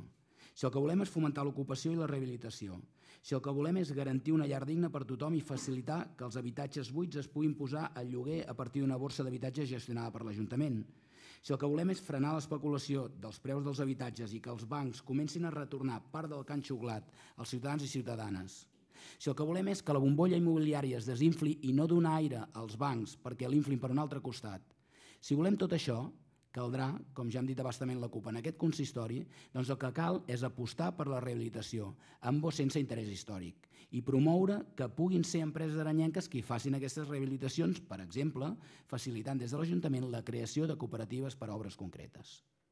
Esperant que les propostes de la CUP estiguin en compte i pels motius anteriorment exposats, el sentit del nostre vot serà afirmatiu en aquest punt. Molt bé, moltes gràcies, regidor. Si no hi ha més intervencions, portem a aprovació aquest sisè punt de l'ordre del dia, que seria l'aprovació de l'ampliació de bonificació a l'impost municipal sobre construccions, instal·lacions i obres a l'edifici plurifamiliar situat a la zona portuària sense número àtic A, edifici Montcalvari. Vots a favor? 14. Abstencions? 2. Per tant, queda aprovat també aquest punt d'ordre del dia. El setè punt d'ordre del dia seria aprovar el compte general del 2014. Té la paraula el regidor d'Hisenda, eh, senyor eh, Xavier Masgrau. Moltes gràcies, senyor alcalde. A veure, la proposta d'acord seria amb l'exercici 2015 s'ha format el compte general de l'Ajuntament d'Arenys de Mar referent a l'exercici 2014. D'acord amb allò que preceptua l'ordre de 23 de novembre per la qual s'aprova la, la instrucció del model normal de comptabilitat local mostrant la imatge al fidel del patrimoni de la situació financera dels resultats i de l'execució del pressupost. Vist l'informe d'intervenció 26 barra 2015 de 17 d'abril relatiu a la liquidació del pressupost del 2014 de l'Ajuntament d'Arenys de Mar, l'informe i l'informe d'intervenció 95 barra 2015 i 101 barra 2015 a l'estat i comptes anuals de l'exercici pressupostari 2014 que inclouen tant els referents a l'Ajuntament com el de l'empresa pública empresarial Radio Arenys. Es van sometre a informe a la Comissió Especial de Comptes, la qual va emetre el seu dictamen favorable en data 30 de juliol de 2015. Exposat al compte general al públic amb el butlletí oficial de la província de 6 d'agost de 2015 pel període reglamentari no s'hi varen formular reclamacions, al·legacions ni observacions. D'acord amb els articles 208 a 212 eh, del 5 de març, pel que s'aprova el terra fos de la llei reguladora de les hisendes locals, en relació amb la tramitació i el contingut es proposa a ple l'adopció dels següents acords. Primer, aprovar el compte eh, general de l'exercici 2014 de l'Ajuntament d'Arenys de Mar, que s'adjunta amb l'annex integrat pel de la pròpia entitat i de l'entitat pública empresarial Radio Arenys i que està formant per, format per següents estats. Relació amb l'Ajuntament, balanç, compte de resultat econòmic patrimonial, estat de liquidació del pressupost, memòria, amb la següent documentació complementària com és l'acte d'arqueig, les notes o certificacions de saldos bancaris. En relació a l'entitat pública empresarial Radio Arenys, el balanç, la compta de resultat econòmic patrimonial, memòria, estat de canvis amb el patrimoni net. Dos, en virtut de lo que disposa l'article 220 del, del, que es tingui per presentat i per examinat l'informe del control financer realitzat per la intervenció municipal sobre els comptes anuals tancat a 31 de desembre del 2014 de l'entitat pública empresarial Radio Arenys. Tercer, Tercer, rendir, rendir els esmenats comptes de la corporació esdevinguts com a resultat de l'exercici econòmic 2014 a la sindicatura de comptes d'acord amb el que determinen els articles esmentats de la seva part és positiva. Moltes gràcies, senyor alcalde. Molt bé, intervencions? En nom d'iniciativa, la seva regidora Isabel Roig. Gràcies, alcalde. Dic que el grup municipal d'iniciativa només volem intervenir per agrair la feina feta pels tècnics del Departament d'Intervenció en el tancament d'aquests comptes i la facilitat que ens ha donat per poder-los consultar i resoldre qüestions concretes. Pensem que en propers exercicis cal tenir molt en compte les recomanacions que ha fet l'auditora Faura i Casas sobre el tancament de l'exercici de l'empresa pública Ràdio Orenys. Votarem a favor d'aquest punt, entenent que un tema és l'aprovació del pressupost, al qual nosaltres no hi vam donar llum verda, i l'altre és la liquidació tècnica i legal d'aquest. Molt bé, moltes gràcies. En nom del PSC, el seu regidor. Sí, nosaltres naturalment votarem a favor de- d'aquest punt de l'ordre del dia, no podia ser d'altra manera. Eh, en tot cas, em sumo amb el que ha dit la regidora Isabel Roig. La feina que fa l'àrea d'Hisenda és una feina, sovint és ingrata, és molt bona però és ingrata perquè han de ser els dolents de, de les àrees quan volen més diners o volen, o volen anar més ràpids, però el complir la llei i el que les coses quadrin a final de- final d'any és important. Per tant, tenen una feina que sovint no es valora i per tant m'agradaria aquí agrair-ho públicament. I després jo crec que s'ha de tenir en compte els informes que, que diu la interventora, aquests informes de, de reparacions, aquestes discrepàncies, que s'hauria de fer un pla l'Ajuntament per mirar de resoldre-les el més aviat possible. Hi ha algunes que és senzill de resoldre, és, eh, jo, jo conto a més a més que si ara doncs, amb un nou secretari doncs, eh, potser es podrà apretar amb alguns temes de, de contractació, però valdria la pena que es fes un pla per eliminar aquestes discrepàncies. Molt bé, moltes gràcies. Nom de la CUP, el seu regidor, David Caldeira. Bé, sisplau. eh, des de la CUP només comentar el fet de que, que el sentit del vot de la CUP en el pressupost és el sentit d'un vot polític.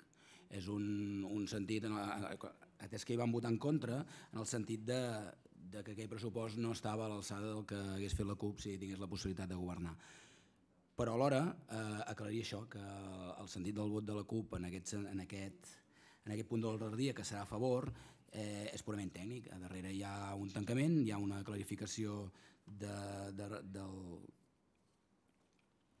de números de, a final d'any i per tant doncs, eh, senzillament es posa sobre la taula això. Per tant, aclarir el fet de que en aquest cas és un vot tècnic de la mateixa manera que es podem i ens agradaria poder votar a favor del proper pressupost.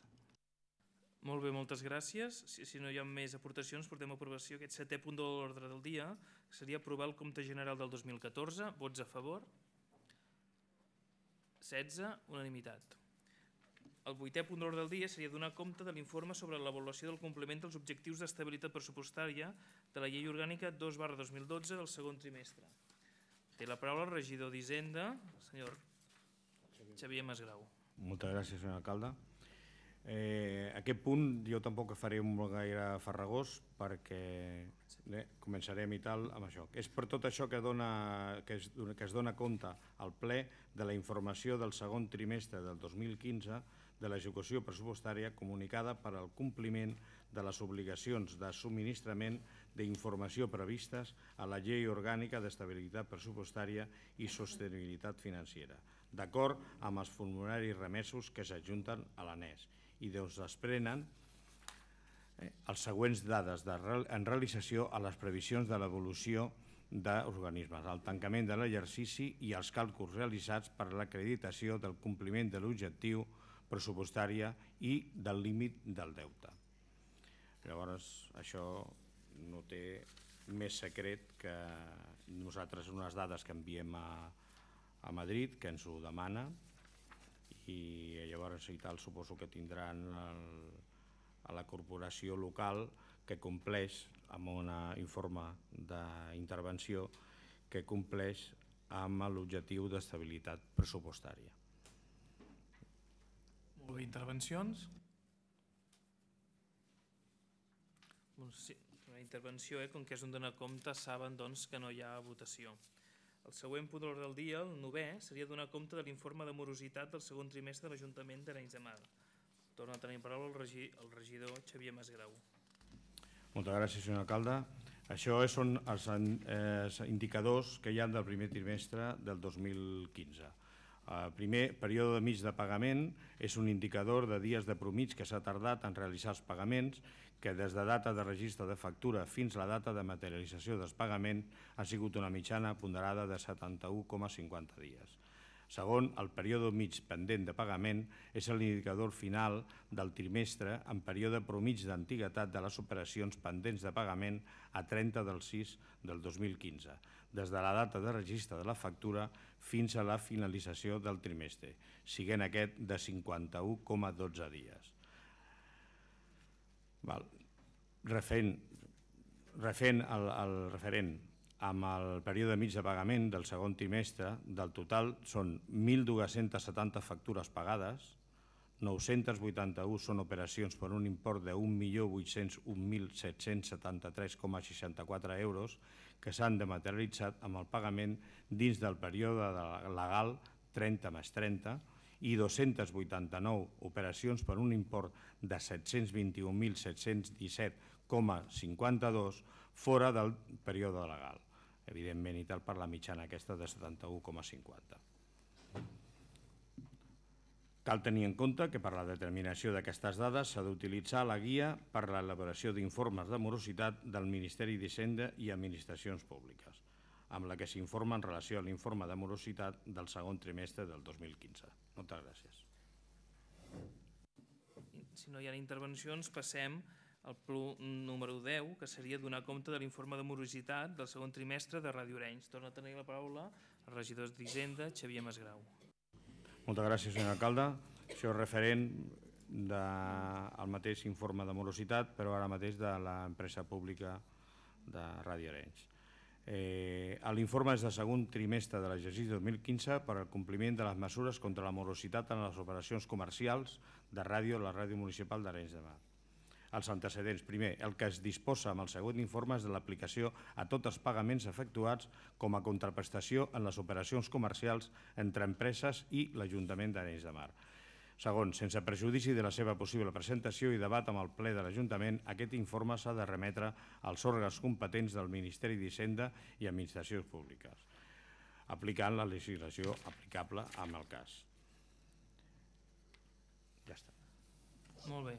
Eh, passem doncs al, al punt número 11, que seria donar compte de l'informe sobre resolució de discrepàncies. Torna a tenir la paraula el regidor d'Hisenda, senyor eh, Xavier Masgrau. Moltes gràcies, senyor alcalde. La proposta a la,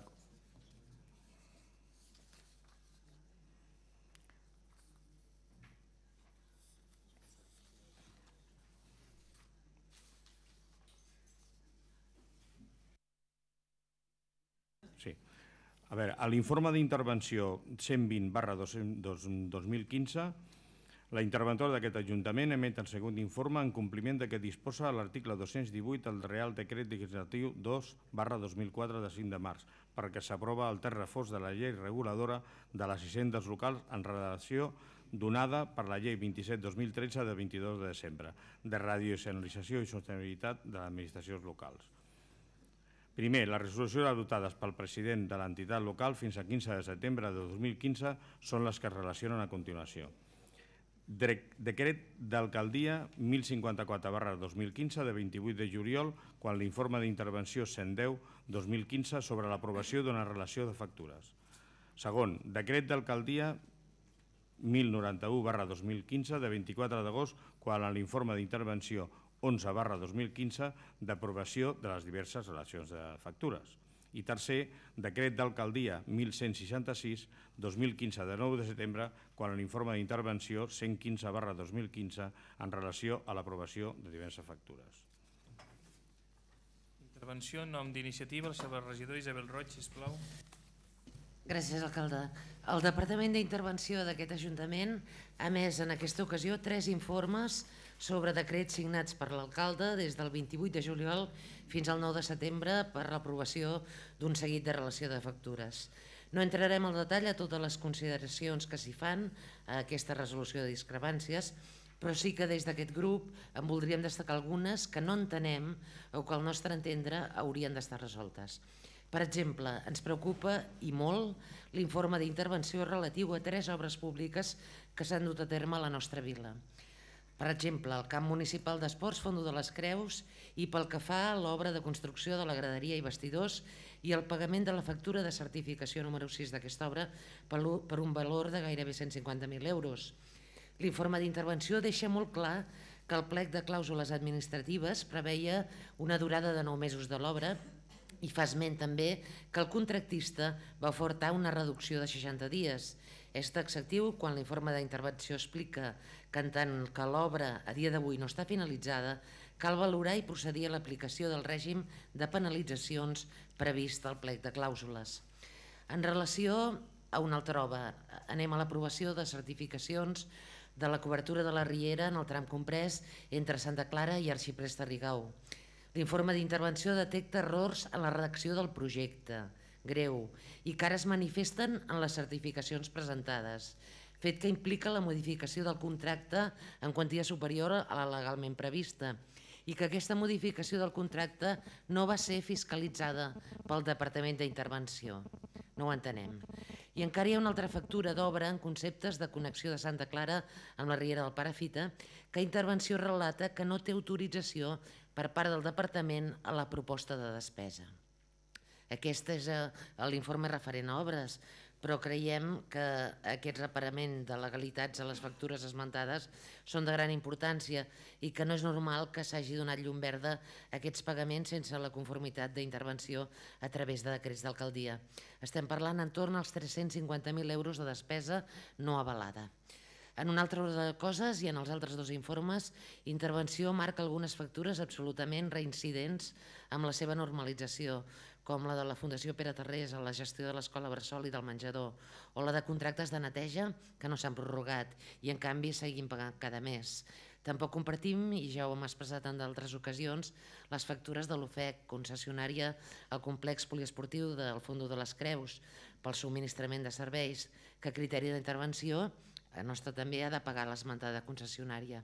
I encara ens sorprèn més la factura de l'empresa Proactiva, que va guanyar el concurs de vigilància de les platges d'Arenys i que correspon a una modificació del contracte substancial sobre el plec de clàusules per un valor de més de 31.000 euros. Creiem que cal corregir tots aquests i molts altres imports i aquestes facturacions que es detallen a l'informe d'intervenció. Molt bé, moltes gràcies. Uh, en nom d'Esquerra Republicana, la seva regidora, Anabel Moreno, si plau. Sí, gràcies de nou. Bé, mm, ens repetiré, repetirem una mica. El nostre argumentari és molt semblant al de la companya d'iniciativa, suposo perquè ens ha sorprès les mateixes coses. En quant a l'obra d'Arxiprés Rigau Santa Clara, eh, ens sorprèn que hi hagi un, un desfassament de, de 92.000 814 euros més IVA. Eh, és una modificació o eh, una ampliació del preu amb més d'un 10% del pressupost de licitació, el que significa que anula el contracte que, que es va fer en el seu dia i que, per tant, tal com diu la interventora, s'hauria d'haver fet un contracte nou. Tal com estan les coses, doncs, amb, amb, la, amb les contractacions administratives, creiem que el que s'havia d'haver fet és un contracte nou. Eh, volem entendre que no hi ha hagut mala fe i que el que es volia era acabar el cobriment d'aquesta riera que, que recordem que es va fer molt tard, que es va justificar tard i que va ser una subvenció que gairebé es perd, afortunadament es va cobrir, eh, però també ens preocupa eh, perquè parlant amb els, amb els companys hem, ens ha sorprès aquesta modificació de ser, aquesta, aquest escreix de més de 100.000 euros amb IVA, els companys deien que, que segurament era a causa d'un informe, que l'informe de l'arquitecte no estava ben redactat i no ho puc entendre massa bé perquè no sóc tècnica i sembla que, que es desprèn de l'informe de la interventora que així va ser. Si realment així va ser, ens agradaria tenir un informe redactat pels arquitectes de l'Ajuntament que ho corroboressin i si fos així, demanar-li responsabilitats a l'arquitecte redactor del projecte, perquè són 100.000 euros de més que ha pagat aquest Ajuntament. Són molts diners, les coses s'han fet malament i ha, ha d'haver un responsable. Per tant, no ens podem quedar de braços creuats i, pagar, i limitar-nos a pagar aquests 100.000 euros. També ens ha sorprès els 31.000 euros en concepte de connexió de Santa Clara amb Riera Parafita que va fer Construccions Vilarraquesens, eh, que no es va fer el projecte de contractació tal com estableix la llei de contractes, per tant es va fer a dit, i, i ens preocupen eh, també que aquesta connexió no estigués de nou al projecte eh, redactat per un arquitecte que se li va pagar per aquest motiu. Sobre l'altre informe de discrepàncies, eh, una vegada més, la, la, la interventora destaca que la, els canvis de contenidors de runa de la brigada, eh, que, que els, es contracta una empresa que es diu Gómez Barea, eh, s'han de licitar, s'ha de fer un plec de clàusules perquè aquesta empresa o qualsevol altra, o sigui, aquest servei, eh, com puja amb un import anual superior al, al, al, al que es marca la llei de contractes s'ha de fer a través d'una licitació pública. Per tant, si plau, això ho, hem parlat, ho havíem parlat eh, fa amb números, jo crec que cada any ho parlem això, eh, facin el plec, porten quatre anys i mig governant, doncs a veure si els hi dona temps aquest mandat. Uh, diu, em diu alguna cosa, senyor alcalde, que és que l'he sentit? Escolti, jo com a alcalde amb el meu company puc parlar. Si està més per el que diguem que per el que parla, bueno, és que ho diu tan alt que ho sento, senyor pues alcalde. Miri, és la meva veu. D'acord.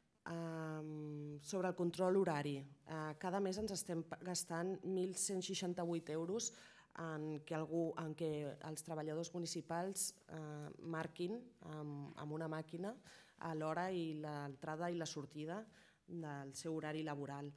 Està molt bé si algú ho mirés, si algun treballador mm, de recursos humans després doncs, eh, utilitzés les dades que recull aquesta màquina eh, portem anys eh, amb, la amb aquesta inversió que va ser molt, molt alta i pagant cada mes 1.168 euros i ningú controla l'assistència dels treballadors.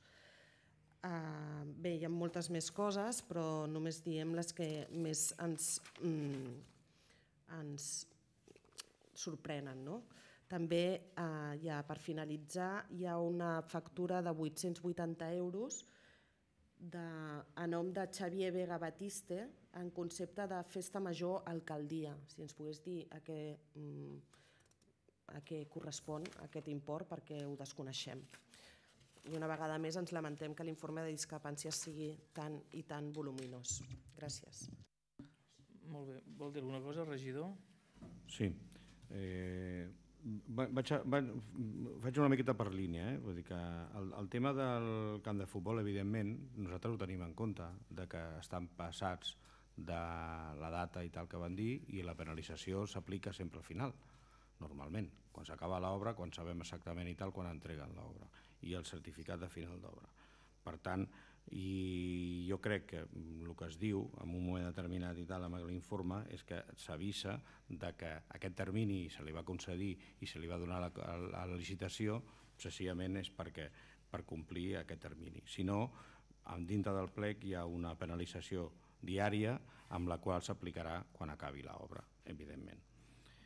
Sobre el tema d'informes eh, que estan pues, eh, eh, de discrepància, evidentment tenim alguns, eh, algunes eh, neteixes viàries i neteixes eh, edificis i tal, alguns plets queden pendents de, de poder fer, intentarem fer-ho el més aviat possible. El que sí que és veritat és que eh, això és ineludible de poder netejar i de fer alguns serveis que són d'interès públic que són necessaris. Per tant, aquests informes negatius, per desgràcia, no seran de forma immediata que s'acabin, però sí que ho portarem.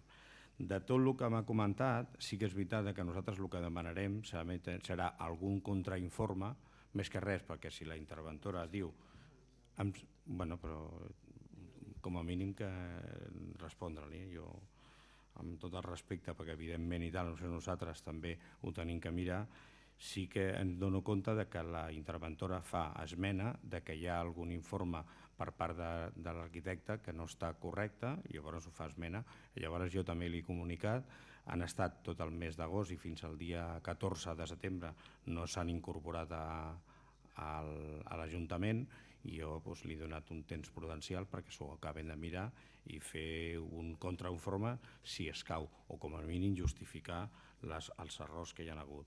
Per això li demano, si plau que ens dongui com a mínim a final de mes i llavors li farem arribar aquesta documentació. No per justificar, perquè hi ha coses que evidentment no podem justificar-la perquè estem eh, sense, sense la pròrroga o una pròrroga dels, dels contractes, evidentment informes negatius sempre tindrem. El que passa és de que eh, intentarem millorar-los i fer els plecs i portar-los al ple perquè s'aprovin, si és possible. Moltes gràcies. Molt bé. Uh, regidora... No, breument, eh, que les explicacions que donen sobre els temes de l'obra eh, bueno, en tot cas potser llavors no fer decrets d'alcaldia fins que no estiguin aquestes certificacions ajustades als contractes i als plaus de clàusula assignats perquè si no ens podem trobar, si anem pagant doncs, a, en el licitador per al camp de futbol que no complert cap ni un de, dels terminis previstos que al final eh, vostè diu li demanarem el retorn però doncs deixem de pagar certificacions fins que no acabin l'obra eh? i igualment doncs, amb el fet de no haver portat a concurs l'obra de, de Santa Clara eh? o, o el, el tema comentat ja de, de, el tema del cobriment de la Riera, queda dit. Molt bé, abans d'acabar, eh, dir-los que el tema de la, de la donar compte als informes de resolució de discrepàncies és una, una llei que el, el Partit Popular va treure el 2013 perquè tothom no es quedés amb un tinters i, i que obliguessin a cada ajuntament en el ple.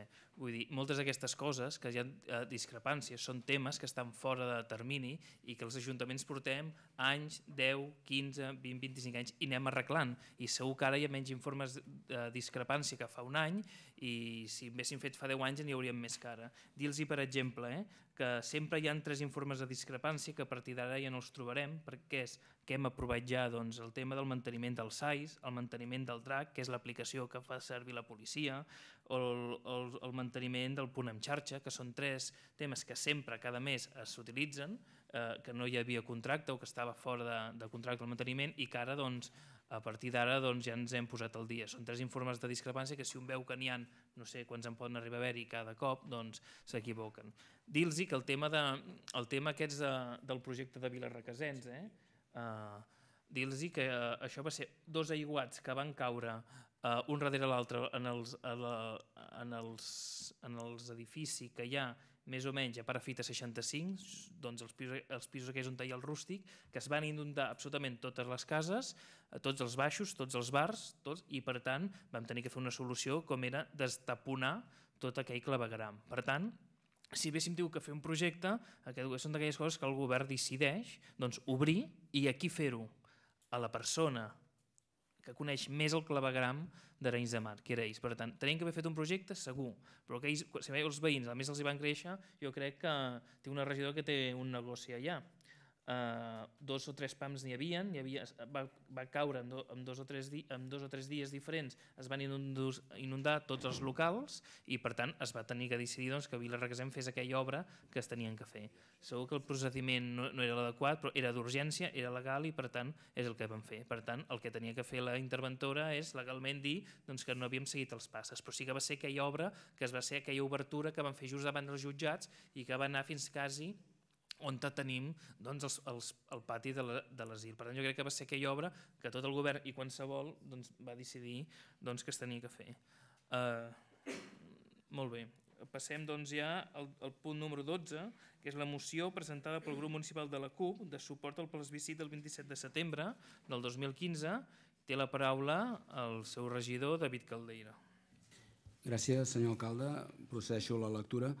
Com a país i com a vila som a les portes d'una fita històrica. El proper 27 de setembre se celebraran eleccions al Parlament de Catalunya. Unes eleccions per capgirar la història que esdevindran eleccions plebiscitàries decisives pel futur polític del nostre país, per decidir si la ciutadania opta per una Catalunya independent. És una oportunitat històrica per fer un tom a les polítiques públiques, per millorar el benestar de la ciutadania, la qualitat democràtica de les nostres institucions, una oportunitat per fer un país socialment just i amb, una, i amb la ciutadania com a gran protagonista de les decisions polítiques. Han estat molts els intents per vehicular un referèndum pactat amb l'estat espanyol per decidir el futur polític del nostre país. El més evident i l'últim va ser la jornada participativa del passat 9 de novembre, novembre de 2014, que inicialment havia d'esdevenir un autèntic plebiscit vinculant en base a la lliure expressió ciutadana sobre el seu desig a no o no d'una Catalunya independent. Finalment, El 9N va esdevenir una jornada participativa, però no vinculant. En aquest sentit, i fruit de diferents acords polítics, som davant de la celebració d'unes eleccions que seran històriques. El procés, que estem convençuts que tindrà un moment culminant el proper 27 de setembre, arrenca de lluny. També a la nostra vila. Recordem la celebració d'una consulta popular sobre la independència el 13 de desembre de 2009, la celebració d'un acte cívic excepcional com va ser la Via Catalana de l'11 de setembre de 2013, amb una participació massiva dels aranyencs i aranyenques, o el 9N, amb la participació de 5.855 aranyencs i un resultat guanyador pel sí sí del 88,6%. I pel que fa a l'àmbit més institucional, el 26 de setembre de 2012 vam declarar Arenys de Mar, territori català lliure i sobirà. El 30 de gener de 2013 vam donar suport a la declaració de sobirania del poble de Catalunya. El 24 d'abril del 2013 vam aprovar exercir la sobirania fiscal i tributària i tributar a l'Agència Tributària Catalana i l'adhesió de l'Ajuntament de l'Associació de Municipis per la Independència, l'AMI, l'any 2011. Ens trobem en un moment clau històric que no podem desaprofitar i així ho volem manifestar una vegada més i reivindicar. Estem a les portes de la culminació d'un procés ciutadà, transversal, pacífic, que ha tingut expressions multitudinàries i mobilitzacions molt importants en els darrers anys. I com a electes locals d'aquest consistori recollim la voluntat i esperit majoritari de la ciutadania d'Arenys de Mar que comparteix el caràcter publicitari de les eleccions del 27 de setembre. Per tots els motius expressats anteriorment, es proposa al ple l'adopció dels següents acords. Primer, donar ple suport a l'exercici de la democràcia per conèixer amb exactitud quin és el futur polític que vol el poble català i perquè sigui l'instrument amb el qual pugui manifestar la seva opinió. Segon, manifestar el convenciment que les eleccions al Parlament de Catalunya del proper 27 de setembre esdevenen un plebiscit sobre la independència de Catalunya. Tercer, obrir el mandat popular català i reconèixer el compromís de treballar amb lleialtat a la voluntat que expressi a les urnes la ciutadania d'Arenys de Mar el proper 27 de setembre. I quart, comunicar aquest acord a tot un seguit doncs, de, el president de la Generalitat de Catalunya, la presidenta del Parlament de Catalunya els, i els grups parlamentaris, també l'Associació de Municipis per la Independència, l'AMI, l'Associació Catalana de Municipis, per tal que ho difonguin entre els seus municipis associats i perquè ho trametin de forma conjunta el president del Govern espanyol, el president del Congrés dels Diputats, el secretari general de les Nacions Unides, el president del Parlament Europeu, el president del Consell de la Unió Europea i el president de la Comissió Europea. No obstant, el ple decidirà. Molt bé, moltes gràcies. En nom d'iniciativa, la seva regidora Isabel Roig, sisplau. Sí, gràcies, alcalde. Bona nit. El grup municipal d'iniciativa coincideix en la reflexió i en el suport que expressa la moció a l'exercici de la democràcia per conèixer amb exactitud quin és el futur polític que vol el poble català i perquè sigui l'instrument amb el qual pugui manifestar la seva opinió. Així es fa cada cop que renova el Parlament, on aquest mateix consistori cada quatre anys, de la mateixa manera que en aquests o anteriors i futures convocatòries obeïm el mandat i reconeixem el compromís de lleialtat als resultats de les urnes. Aquest 27 de setembre votarem candidatures i els vots es transformaran en escons i seran els diputats i les diputades elegides qui hauran de fer el possible els compromisos anunciats a la nova legislatura. Una legislatura que esperem i volem que sigui de trànsit i que les majories que en sorgeixin facin possible que aquests diputats i diputades puguin votar i celebrar la proclamació de la República Catalana. Un procés que no renunciem que tingui un repló de referèndum per legitimitat internacional, però que si no és possible aconseguir-ho, que ho refrendi l'aprovació de la nova Constitució catalana. Bé, malgrat aquests aspectes coincidents de la moció, no hi votarem a favor i ens abstindrem, atès que no coincidim en l'anunciat i en el segon punt on es demana i expressa el convenciment de que aquestes eleccions són un plebiscit. Iniciativa membre també d'una altra candidatura confluent, el Catalunya sí que es pot. Possiblement som els únics que seguim dient que no és un plebiscit, entre el sí o el no. I això, que és el posicionament en un o un altre espai, ens assenyala en contra segons a qui els convingui. Per ser coherents i no ser sumats a contracor, ens abstenim i que cadascun sumi on vulgui. Els nostres diputats i diputades sabem que el dilluns 28 de setembre es posen a treballar per un procés constituent català per refundar el país, pel dret a decidir-ho tot. Molt bé, moltes gràcies, regidora. No hi ha intervencions? Bé, doncs en tot cas, com a Junts per Arenys, nosaltres votarem a favor perquè en tot cas amb aquest ple un pot sumar, però aquí som absolutament necessaris els nostres sis regidors perquè tirem endavant temes sobre país. Pesi alguns, Junts per Arenys, amb sis regidors, sempre amb aquests temes som necessaris i sempre donem la cara i no sempre ens mullem. Per tant, portem a votació eh, moció que representa la CUP de suport del presbicit del 27 de setembre de 2015. Vots a favor? 12. Abstencions? 1. Vots en contra? 3. Per tant, queda aprovada aquesta moció per majoria absoluta. La següent moció és aquesta moció que hem presentat eh, d'urgència i que ha estat aprovada i que en tant llegirà, entenc, que el regidor... Perdó. S'ha de retirar la de l'ordre del dia, en tot cas. S'ha de... Sí, primer retiren la de l'ordre del dia. Val. Teníem una moció, que era el punt número 13, que havia presentat el PSC i que en tant eh, s'ha entrat eh, doncs, a la Junta de Portaveus una, una nova proposta, que és la que hem votat al principi del ple i que ha quedat aprovada, i per tant votaríem ara la retirada d'aquesta... mo- No, no, es retira. Ah, es retira, Es retira. val. Perdó. Doncs es retira i punt. Per tant, el regi, eh, regidor... Qui, ah. Regidora Anabel Moreno, si plau. Sí, gràcies, senyor alcalde. Entenem bueno, que és una proposta de resolució, eh, senyor secretari? No és una moció, és una proposta de resolució. Sí, sí, ho sé. Gràcies. Uh, bé, proposta d'acord dels grups municipals Esquerra, Més, CUP, PSC, Iniciativa i Convergència i Unió de l'Ajuntament d'Arenys de Mar.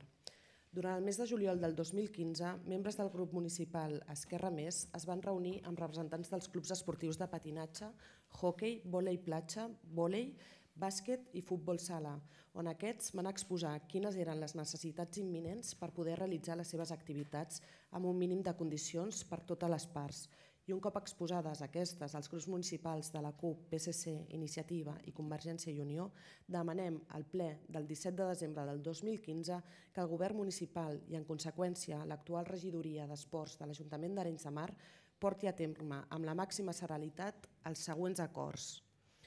Que el govern municipal ens faci a mans el projecte de cobriment de la pista de l'IES Tres Turons que els arquitectes municipals informin urbanísticament sobre la construcció de la pista anexa al pavelló existent que es presentarà junt amb el present acord. Que en cas que sigui viable es redacti el projecte de construcció d'aquest pavelló, el qual es construirà amb instal·lacions elèctriques d'energies renovables que es modifiqui l'horari dels tècnics de la regidoria d'esports per tal que sempre hi hagi un tècnic durant les tardes i els caps de setmana, que és quan realment ha activitat als pavellons i que es gestioni de manera racional i consensuada amb els clubs esportius de la vila l'ús de les pistes esportives.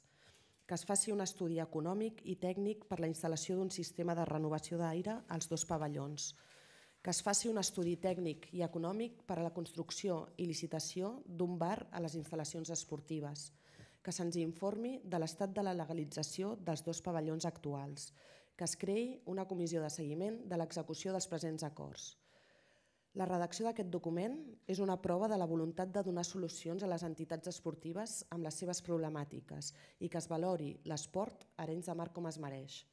Els grups municipals que, present, que presentem aquesta proposta d'acord ens posem a disposició de la regidora d'Esports per dur a terme una bona gestió de la regidoria. Intervencions dels grups. Portem doncs a votació aquesta proposta d'acord dels grups municipals d'Esquerra, CUP, PSC, Iniciativa i CiU de l'Ajuntament d'Arenys de Mar, recordant que ha sigut una proposta, com han dit, que no hi ha hagut mai cap voluntat de parlar amb el govern, que l'han canviada en la Junta de Portaveus, que ens hem assabentat de tot aquest canvi i qui vol en la premsa els ensenyarem la moció que hi havia fins ara, no tenia res a veure sense consensuar per primera vegada, amb 13 anys que formo part d'aquest Ajuntament, mai a la vida s'havia fet una cosa semblant sense ni voler parlar amb el govern fent una moció consensuada per altres grups sense ni tan se vol demanar l'opinió del govern. Per tant, entenem que no és la manera de fer. Nosaltres votarem absolutament en contra perquè estem en contra de la forma que s'ha tractat amb aquest equip de govern perquè si el que vol és posar-se a disposició de la regidora estaria com a mínim bé que es hagués intentat parlar amb la regidora. Ja no amb aquest alcalde que ho fa tot malament, que perd les formes, que que allarga els horaris, que ho fa tot, sí, sí, ens sap greu, eh? perquè hi ha que hem tingut senyor Vinyes que rigui d'aquesta manera, perquè sembla, eh, em, em sap greu, no? Digui. Per al·lusions. Sí, no? Parlaré després, no. oi? Que acabi, acabi. No, acabi d'expressar-se tranquil·la i lliurement. Sí. Sap greu que algú, li, dic, li ha dit a la Junta, algú que hem compartit tres anys de govern sense cap problema fins fa dos mesos, faci aquestes mocions sense dir-nos absolutament res. Crec que aquest govern, que aquestes persones, i per la relació personal que tenim sense cap problema, no entenc com poden fer una moció ni sense pensar en dir-li al govern. Per tant, no ho entenc. I com que entenc que la política va per sobre i que hi ha relacions i persones i que amb les persones té bona relació, em diran que no té res a veure i que quan està fora de l'Ajuntament tot és diferent. Però jo, la veritat, és que m'he quedat sorprès de fer d'aquesta manera i, i que vostè, regidor, ja que parlarà, amb la bona relació que tenim, potser ho negarà, eh? no ho sé, potser què dirà, hagi fet una moció sense comptar ni parlar. Es podrien venir, sentar-se, dir-ho i ja està. En, és absolutament legal. Ho, el que han fet és totalment... Eh, però mai a la vida m'havia trobat que amb un govern no se li ni consensués que hi ha un canvi i se li presentés a última hora, per molta majoria que tingui l'oposició. Però em sembla que ens mereixíem que se'ns digués que es canviava tota una moció que ja estàvem d'acord en presentar-ho com hem estat a, a primer, abans de la reunió, quan ens hem posat, estàvem, anàvem a votar a favor. Abans de donar-li el pas, vull eh, donar-li a la regidora de d'Esports, si sisplau. Bé, jo només vull dir que eh, també votaré en contra amb, amb, amb la mà al, al cor us dic que em sap molt de greu tenir que votar en contra d'això perquè si miro els punts són punts que jo ja estic treballant, que ja he dit públicament que els vull fer, però hi ha coses que no les podem eh, no obligar, no? Però, però hi ha coses que s'han de treballar. Precisament la moció que presentava el Partit Socialista era el que realment volia fer entre tots, que és crear aquesta comissió, que està en aquesta moció, que és crear una comissió entre tots, entre les entitats, per poder solucionar els temes que, dels problemes que tenim a, a esports, que en tenim molts, com hem posat en aquí. Però mm, hi ha un problema també, per exemple, de modificar els horaris dels tècnics. No és tan senzill. Abans parlava Esquerra també de com de pactar amb els treballadors, de parlar, de mirar, d'observar. Jo no puc anar allà i dir-los ara te poso a aquestes hores perquè em dóna la gana, perquè no vull això. El que vull és fer entendre als tècnics el que, el que han de fer o, o, o les necessitats que té la regidoria. No vull posar les coses així, vull parlar-ho amb entitats, que les he parlat amb tots, amb els grups polítics, també amb els treballadors. Vull dir, les solucions no poden arribar amb una moció i imposar coses. Jo sé que aquestes coses s'han de fer, si és el primer i que estic treballant i que clar, no m'ha donat temps de, de treballar. El que vull és la col·laboració dels partits de l'oposició, que entenc que la tinc, però ostres, aquesta moció em sembla que està fora, um, fora de lo que realment volia fer, que era una comissió per treballar-hi tots. Només això i que em sap molt de greu. Des d'aquí dic a les entitats que espero que aquesta moció realment sigui per, la, per el benefici de les entitats i de, i de l'esport d'Arenys. Regidor Ramon Vinya, si plau. Gràcies. No, només jo- crec que se n'ha de donar que està en minoria, senyor Stanis. I això d'estar en minoria, doncs a vegades vol dir que es guanyen votacions i a vegades es perden. I potser avui doncs, perdran aquesta votació. I això és completament democràtic. Eh, L'altre element, eh, nosaltres vam presentar una moció, vam parlar amb la regidora, li vam dir, mira, presentarem aquesta moció, i a la reunió passada vam dir que la canviaríem. I s'ha estat treballant aquesta setmana i avui, al matí o al migdia, s'ha acabat de redactar i s'ha portat a la tarda. Així han anat les coses. Així han anat les coses. Es va quedar a la, a la reunió passada, a la comissió informativa, que treballaríem. Bueno, s'ha estat treballant aquesta setmana i avui, a la tarda, hem acabat de signar-lo avui a la tarda abans d'entrar a la Junta de Portaveus. I així han anat, anat les coses. I vas a dir, no, és que el bé que estàvem i no sé què, no sé quantos, i bueno, bueno són, són condicions. Però jo li vaig dir una cosa i encara ningú m'ha fet cas. I escolti'm, jo vaig dir-ho i ho porto dient-ho des del primer dia després de les eleccions. Vaig dir molt clarament com es va finançar la campanya del seu partit polític, en qui ningú ho ha dit. Com es va finançar? Jo crec que això s'ha de dir públicament. Almenys no m'he no assabentat. I l'altre és que es facin actuacions importants en recursos humans. I aquí en recursos humans no s'ha fet cap tipus d'actuació després del ridícul i de les actuacions que s'han fet en recursos humans. I això vam dir-ho. I aquest Ajuntament, vostè mateix, estan passant d'aquestes apreciacions. Bueno, doncs nosaltres, escolti'm, nosaltres eh, tirem pel dret. Molt bé. Dir-li que jo avui, cada vegada, em sento, hi ha gent que la gent s'està quedant perplexa de les, avui del que vostè està parlant, el que està dient. Vostè era el regidor de Recursos Humans fins fa tres mesos, o sis mesos, perquè vostè... Però és igual, és que no vull entrar a aquest tema. Està molt bé que hagin consensuat unes idees, que el dimecres passat hagin treballat per millorar una moció. I ha dit que ha anat aquesta tarda a fer-la signar a tothom. I no s'han recordat d'aquells que també votàvem a favor d'aquesta moció quan la vam presentar l'altre dia? Com pot ser que no se'n recordin de dins-ho? I de si han estat treballant aquesta setmana, que ens sembla molt bé, com no, no ens han dit res? Ens ho presenten allà, un canvi substancial. Al igual que han anat els altres partits i els hi han dit, no, perquè no sé si els hi han anat i els hi han fet signar o si han fet una comissió. Ningú se'ns ha acostat i ens ha dit res. Això és el que m'estic queixant, de la forma de fer aquesta. Ja està. I clar, i dir això que ho està fent, perquè Junts per Arenys com s'han financiat? Escolti, si té algun dubte o alguna cosa que ens hem financiat il·legalment, digui-ho. Perquè, escolti, vostè no sap els problemes que tenim per pagar el poc que vam gastar fins que no tinguem els diners de... fins que no tinguem els diners del grup municipal. Li puc dir, eh? I, si, i, i com que riu i fa una sorna, expliqui-ho. No, expliqui-ho, la veritat és que em sembla molt... Avui se'ns ataca perquè què m'està dient? Que m'he financiat il·legalment? No, ho està dient vostè. No, vostè m'està demanant- Està vostè- dient vostè m'es- el poc que vam gastar. És clar, És jo que entenc poc- que qui té molts diners, el, el poc que es van gastar deu ser, doncs, ser una minúcia. Eh, passa als criteris, als criteris que diu la, la Junta Electoral, la Comissió d'Investigació, passen els criteris que són miserables, És que és molt fort. miserables de, de finançament. O sigui, vostè m'està dient que està fent vendetta en aquest govern. Vendetta, eh? Perquè jo he gastat més del que tocava? És que, o que el, el regidor, en tot cas, qui va adelantar algun diner, aquí ho tinc que dir-ho, el senyor Xavier Masgrau va posar els diners que, anava, que tenia alguns, i ara els hi hem d'anar tornant a poc a poc. O sigui, no hem demanat res a cap banc. És que, és que em sembla molt fort que avui o que aquest grup municipal ens hem de sentir... O sigui, resulta que no ens han... No, el, el regidor Vinyes no ens ha tingut en compte en una moció sobre esport perquè no li hem aclarit el que vam pagar en campanya. No, no, jo ho he intent... Jo he... M'ha semblat que era sí, així. vostè ho entén perquè li costa entendre les coses, senyor Sí? Stanis. A veure, vostè m'ha dit amb lo bé que estàvem i ara li vaig dir després de les eleccions que hi havia unes coses que a mi em semblaven impresentables.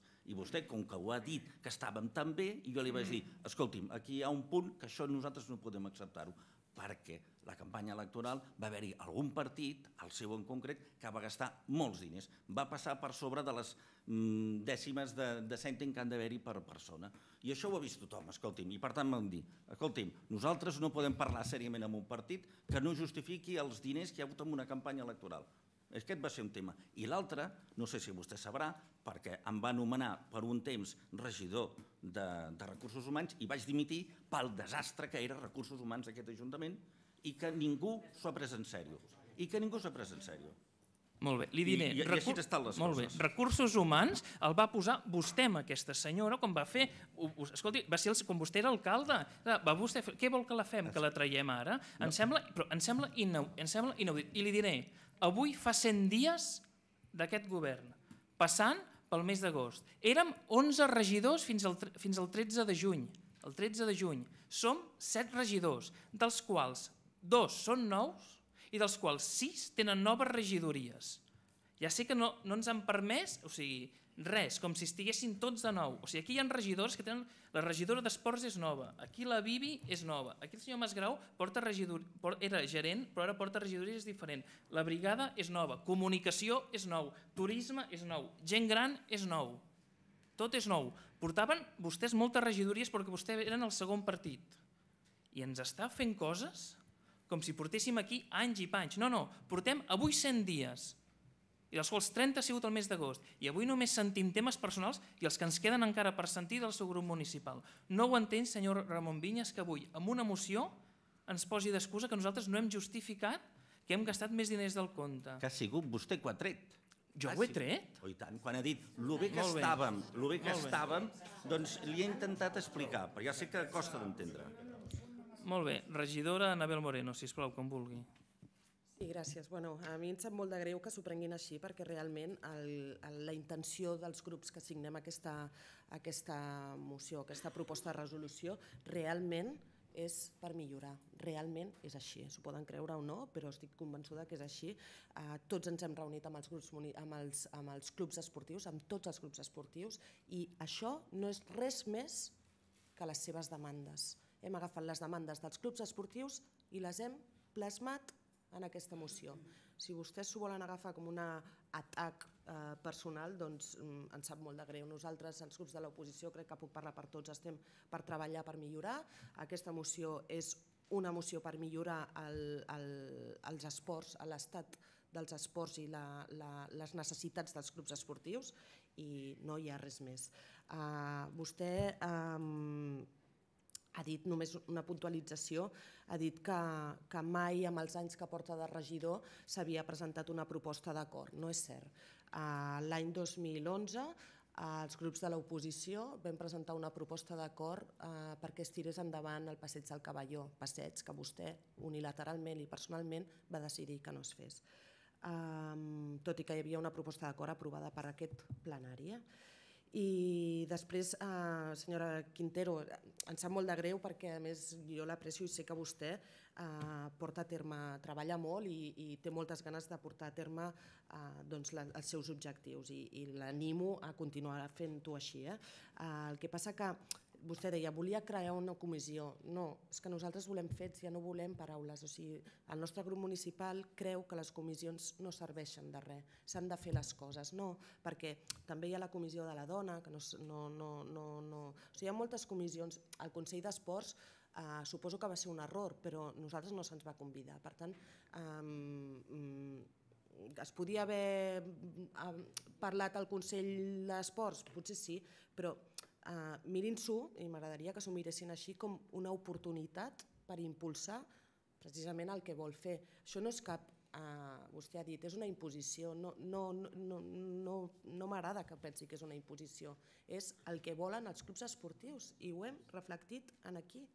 Uh, sobre, també deia, um, no puc anar als tècnics i canviar-li l'horari perquè em dóna la gana, no, però sí li pot canviar per les necessitats del servei. Si tots els, els clubs esportius resulta que entrenen a, a, a partir de les 5 de la tarda o quarts de 5 i juguen els caps de setmana, doncs per necessitats del servei hi han dos tècnics, un PO, un pla d'ocupació, hi ha molt, diria, m'atreviria a dir que és el servei més ben dotat d'aquest Ajuntament. Per tant, ens podem permetre el luxe de canviar els horaris, sí, amb una justificació feta amb, de recursos humans. És complicat perquè se li tiraran a sobre, però té el recolzament de totes les entitats i de tots els partits polítics. Jo l'animo a que tiri endavant. Molt bé, proposta d'acord doncs, dels grups municipals d'Esquerra Més, CUP, PSC, Iniciativa i CiU de l'Ajuntament de de Mar per tirar enda, uh, per la redacció de, uh, per tirar endavant doncs, eh, des de diferents solucions per a les entitats esportives amb les seves problemàtiques i que es valori l'esport a de Mar. Vots a favor? 9. Abstencions? Vots en abstencions, una, vots en contra, sis. Molt bé, moltes gràcies. El següent punt de l'ordre del dia és el número 14, és la moció presentada pel grup municipal del PSC de proposta de resolució per tal d'instar el Consorci Sanitari del Maresme i el Departament de Salut a l'elaboració participada d'un pla director sanitari del Mataró Maresme. Té la paraula qui té la, el regidor Ramon Vinyes. Moltes gràcies, senyor alcalde. Val a dir que aquesta moció la presentem nosaltres també conjuntament amb Iniciativa per Catalunya. El... Seré molt breu en la presentació. Fa uns mesos va sorgir un problema en el que l'Hospital Antic de Sant Jaume havia de passar uns llits a l'Hospital de, a de Mataró, amb la, qual, amb la qual cosa es perdien uns llits de, deguts a l'Hospital de Mataró. Aquest va ser un detonant perquè nosaltres i, i en certa manera els pobles del Maresme i la coordinadora de salut del Maresme diguessin que s'havia de fer alguna actuació perquè si no es perdien 40 llits de, de sanitat pública. Eh, sabem que la situació econòmica de l'Hospital de Mataró no és bona, però l'única solució aquí no és continuar amb retallades i amb perdre qualitat, sinó que es donin més diners amb, amb aquest hospital. I aquesta és la idea d'aquesta moció, que està agafada com seria la, la, la de Mataró, pràcticament és l'Hospital de Mataró, i en el que diu que els, els acords següents. Primer, l'Ajuntament d'Arenys de Mar rebutja qualsevol mesura que només contempli criteris econòmics de futur pel Consorci Sanitari del Maresme i que no tingui en compte la salut de la ciutadania. Segon, l'Ajuntament d'Arenys de Mar insta el Departament de Salut a crear una comissió que participi en l'elaboració del Pla Director Sociosanitari de Mataró-Maresme. Aquesta comissió ha de contemplar la incorporació de representants municipals, professionals sanitaris i usuaris i que en posterioritat de l'elaboració del pla farà funcions de seguiment i avaluació de les mesures que es consensiuin en el si d'aquesta comissió entre els diferents actors implicats. Tercer, demanar al Consell Rector i al Consell Comarcal del Maresme que ratifiquin aquests acords en els seus òrgans de govern. Quart, notificar aquests acords a la Conselleria de Salut, al Consell Rector del Centre Sanitari del Maresme, al Consell Comarcal del Maresme, al Comitè d'Empresa i a la Coordinadora en Defensa de la Sanitat Pública de Mataró. En el sentit en aquí, el Departament va, va dir que faria una moratòria, que parava, per tant, aquest trasllat de les 42 llits eh, de l'Hospital de Sant Jaume al, al que seria l'Hospital de Mataró, però, malgrat tot una moratòria, és parar-ho. Aquí el que es tracta és de fer un estudi, un estudi, naturalment, que es diu de viabilitat, però que la viabilitat no sigui perdre llits ni perdre qualitat eh, assistencial. Molt bé, alguna intervenció? En nom de Junts donem llibertat de vot amb aquest tema, perquè la regidora volia dir alguna cosa i teníem... Sí, bé, jo només volia comentar que d'entrada no es perdrà cap llit perquè es fa tot el trasllat a l'Hospital de Mataró.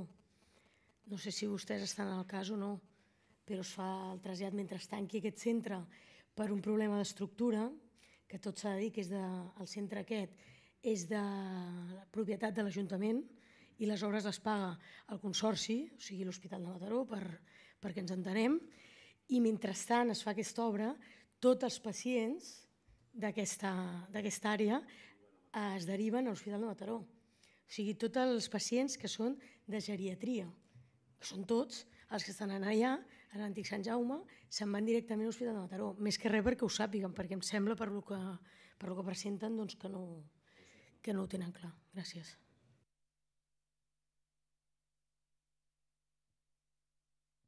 Sí.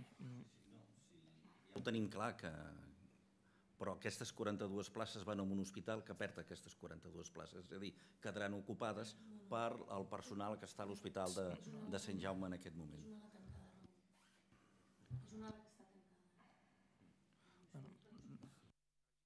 Regidor de la CUP, sisplau, si vol intervenir. Sí, gràcies, senyor alcalde. Uh, des de la CUP només comentar el fet de que les inversions en serveis públics doncs, són inversions que al capdavall són de futur i no fer-ho doncs, és eh, no resoldre eh, situacions que en el futur doncs, ens acaben generant conflictes. Si es posa sobre la taula aquesta moció és perquè, malauradament, el Maresme, per si alguna cosa ha sobresortit, a banda diguem-ne per l'excel·lència del personal que treballa en els serveis públics, també és per la malversació de serveis públics. Podem començar per Blanes a la Selva, passant per Calella, fent una volta per Reus i arribant a Mataró.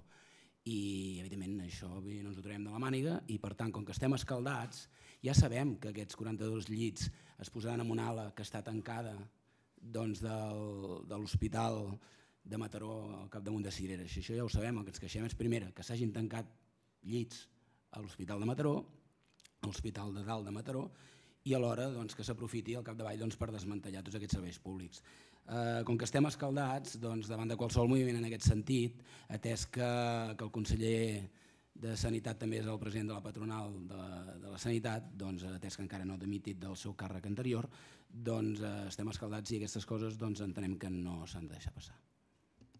Molt bé, moltes gràcies. Uh, regidora Isabel Roig, sisplau. Sí, no, en tot cas, els que som usuaris de la sanitat pública i de l'Hospital de Mataró en concret, eh, no em negarà la regidora que aquest estiu s'han viscut retallades enormes, tancament de mitges plantes, trasllat de pacients al cap de setmana per tancar habitacions, reducció de personal i gent que està fent tractaments d'urgència per llongacions, avisos de, de canvis de proves i tot plat. Per tant, la situació del Consorci Sanitari del Maresme no em digui que és saludable, perquè no ho és. Regidora, intervenció. Eh, sí, bé, això que diu la senyora Roig jo no ho he dit, eh? ni que és saludable, ni que no s'han tancat plantes, ni que no hi ha hagut retallades. Jo no estic aquí per defensar l'Hospital de Mataró perquè ni tan sols hi treballo. Eh? Hi he treballat però no hi treballo. Només vull mm, fer-los constància de dues coses. Una, que Sant Jaume s'ha de tancar per un problema estructural, que Sant Jaume és de l'Ajuntament de Mataró i que totes les eh, persones o totes les places que hi ha a Sant Jaume se'n van a l'Hospital de Mataró i se'n van a una ala que no s'ha tancat per acollir a aquesta, aquesta ala de geriatria, sinó que ja estava tancada i no estava tancada per les retallades, sinó que no s'havia fet servir mai. Jo només els hi dic perquè ho sàpiguen, però vostès em poden creure o no creure'm. Jo no li puc dir que no s'han fet retallades a la sanitat perquè, com vostè sap, jo sóc infermera i, i escolti, si vol li puc dir que pateixo un, un 6% de retallada des de fa molts anys del meu sou, eh? I vull dir, i, no, i és el que hi ha, eh? Però no posi en boca meva coses que no he dit. Tanmateix, estic absolutament a favor en el que ha dit el senyor Caldeira, absolutament en tot, del principi fins al final. Només que a vegades sembla que barregem temes i no és el mateix que s'hagi de tancar un lloc per un problema estructural que fa molts anys que ja s'hauria d'haver tancat i arreglar o el que sigui o el que decideixi l'Ajuntament perquè és un edifici públic, ho recordo, després ja s'afegiran amb la Fundació o amb qui sigui, però és un edifici públic i això fa molt de temps que s'hauria d'haver fet. Mataró acull aquests pacients i els acull en la seva totalitat, Eh? Vull dir, només que ho sàpiguen. La, el que és planta de psicogeriatria es queden allà perquè és una, un espai, a Sant Jaume, és un espai que no està afectat. Tota la part afectada ja traslladat a l'Hospital de Mataró. A partir d'aquí, que, hi ha, que hi posin més infermeres o més metges o que hagin de ser els mateixos. Jo això no els hi discutiré, primer perquè ho desconec i segon perquè, com ha dit el meu company David Caldeira, jo també tindria sospites totes. Gràcies. Molt bé, per tant portem a votació aquesta proposta de resolució per tal d'instar el Consorci Sanitari del Maresme i el Departament de Salut a l'elaboració per participar d'un pla director sociosanitari de Mataró-Maresme. Vots a favor? Mm,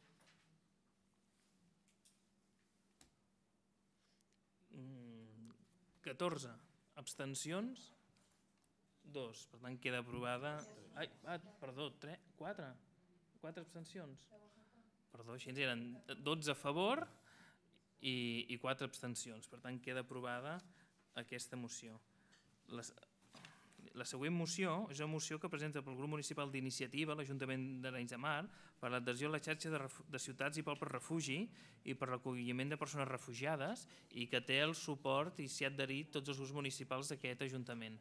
Té la paraula eh, la regidora Isabel Roig.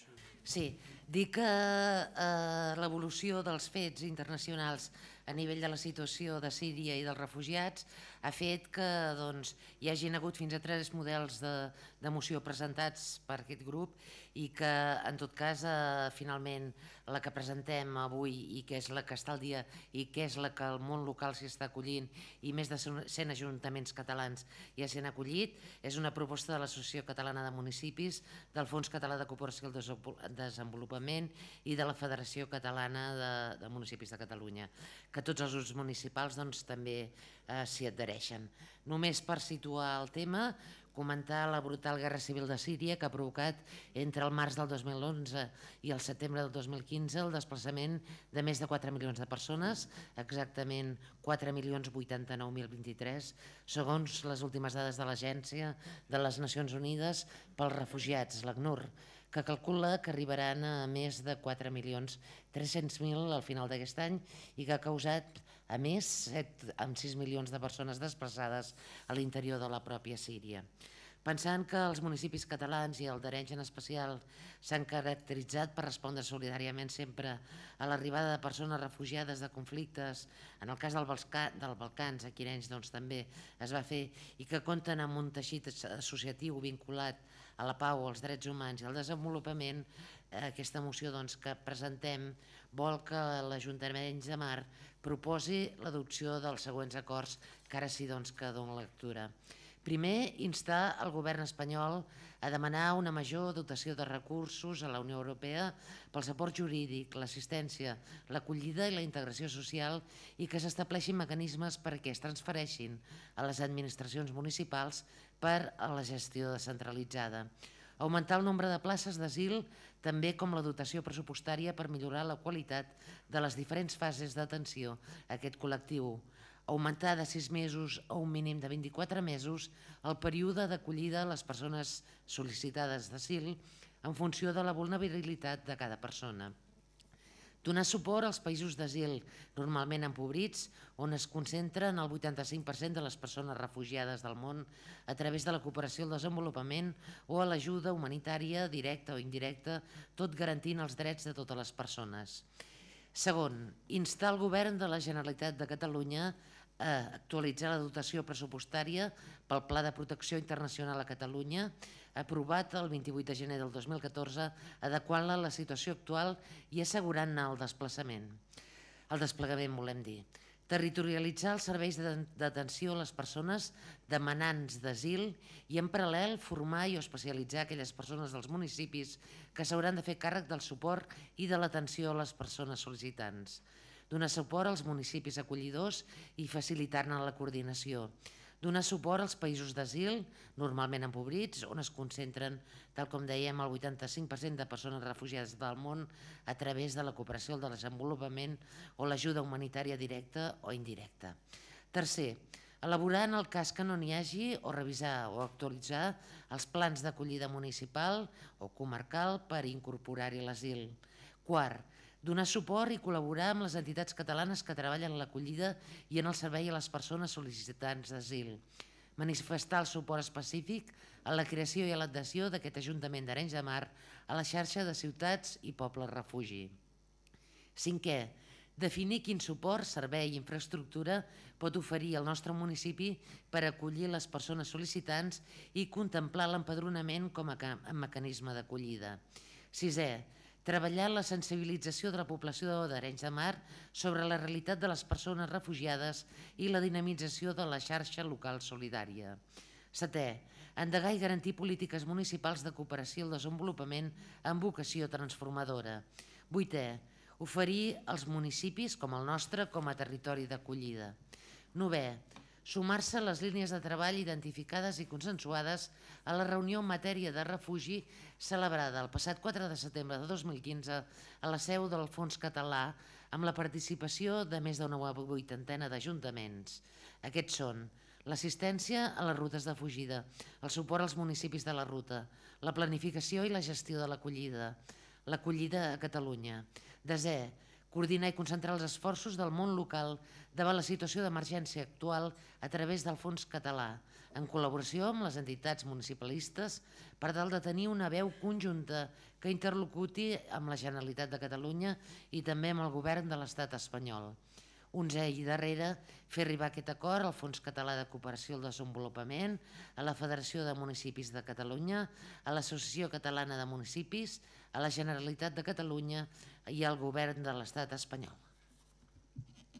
Moltes gràcies. Intervencions en, en, en del PSC, si sí, plau. moltes gràcies. Nosaltres, naturalment, eh, votem a favor i ens hem adherit i no podia ser d'una altra manera. Tot i que m'agradaria fer una, una reflexió. Potser no és aquest el, no és el lloc o el moment, però m'agrada fer-ho per estar tranquil amb, amb la votació.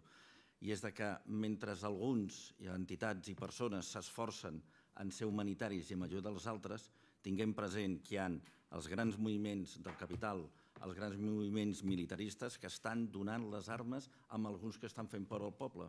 I en aquí nosaltres estem doncs, fent el que hem de fer, però mentrestant hi ha algú que s'està rient. Algú potser que no tenim gaire lluny, vull dir, que occidental, del món occidental que està donant diners, i en aquí nosaltres. I una altra reflexió és, eh, està passant això ara quan la guerra porta molt de temps. Fins a quin punt no ens estan utilitzant per poder iniciar una escalada bèl·lica en allà. És, és, una, és una reflexió, però que, que crec que val la pena que també l'anem tingut en compte i per descomptat el nostre vot a favor. En nom de la CUP, el seu regidor, sisplau. Gràcies. Bé, estem davant del repte humanitari més gran dels últims anys i l'Europa dels estats caducs i encarcarats torna a fallar i decebre per enèsima vegada als seus propis ciutadans. Tots ho hem vist. Mentre els grans mandataris es passen la patata calenta, els ciutadans propers als punts d'arribada s'atansen per repartir aigua i menjar.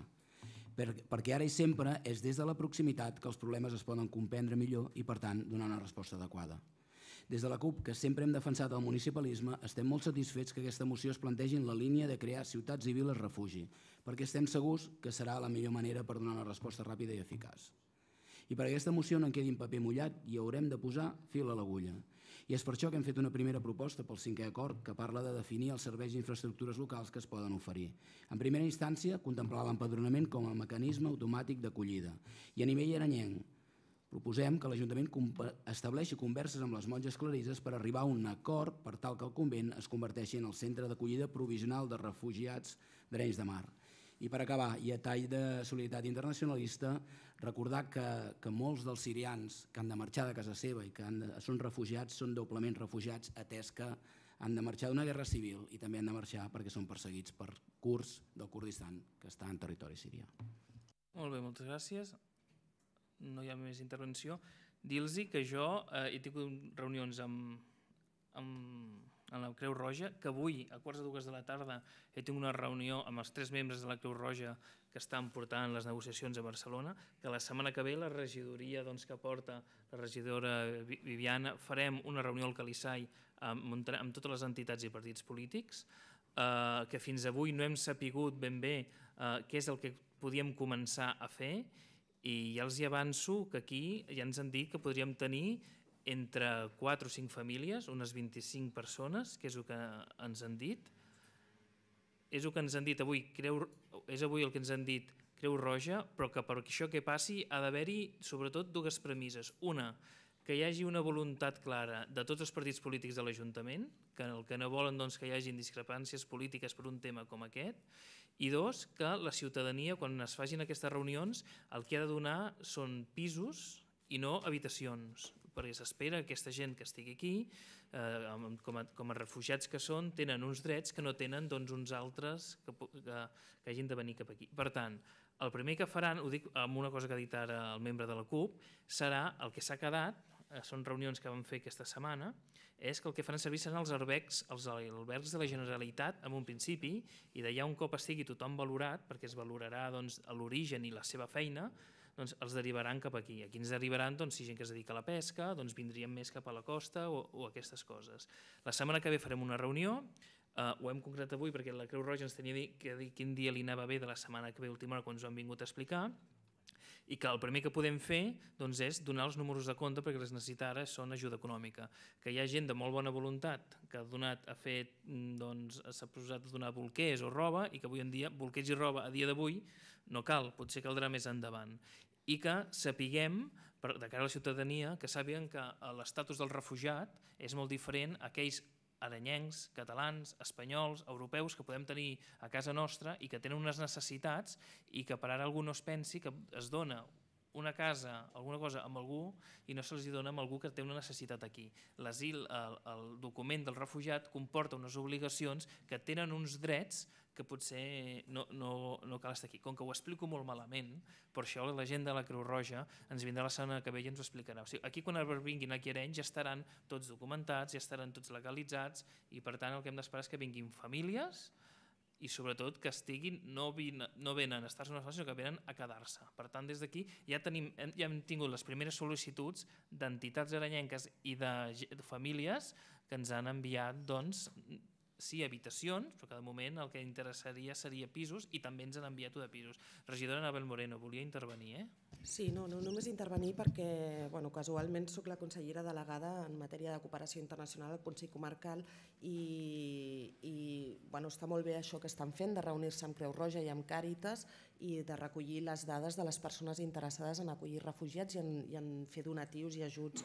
Uh, la setmana que ve el Consell Comarcal es posarà en contacte amb tots els ajuntaments, els reunirà uh, i els hi transmetrà les, um, les, les recomanacions i les, tot, totes les passes que hauran de portar a terme tots els ajuntaments, no perquè ho digui el Consell Comarcal, sinó perquè qui ho està gestionant i centralitzant és el Fons Català de Cooperació, que és eh, la moció a la que ens hem adherit.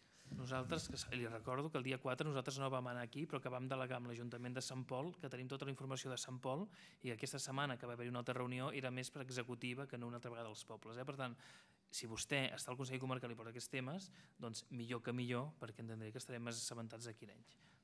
Per tant, eh, portem aquesta moció, perdó, que és moció, moció del grup municipal d'iniciativa amb l'adhesió de tots els grups municipals d'aquest consistori per a l'adhesió a la xarxa de ciutats i pobles refugi per l'acolliment de persones refugiades.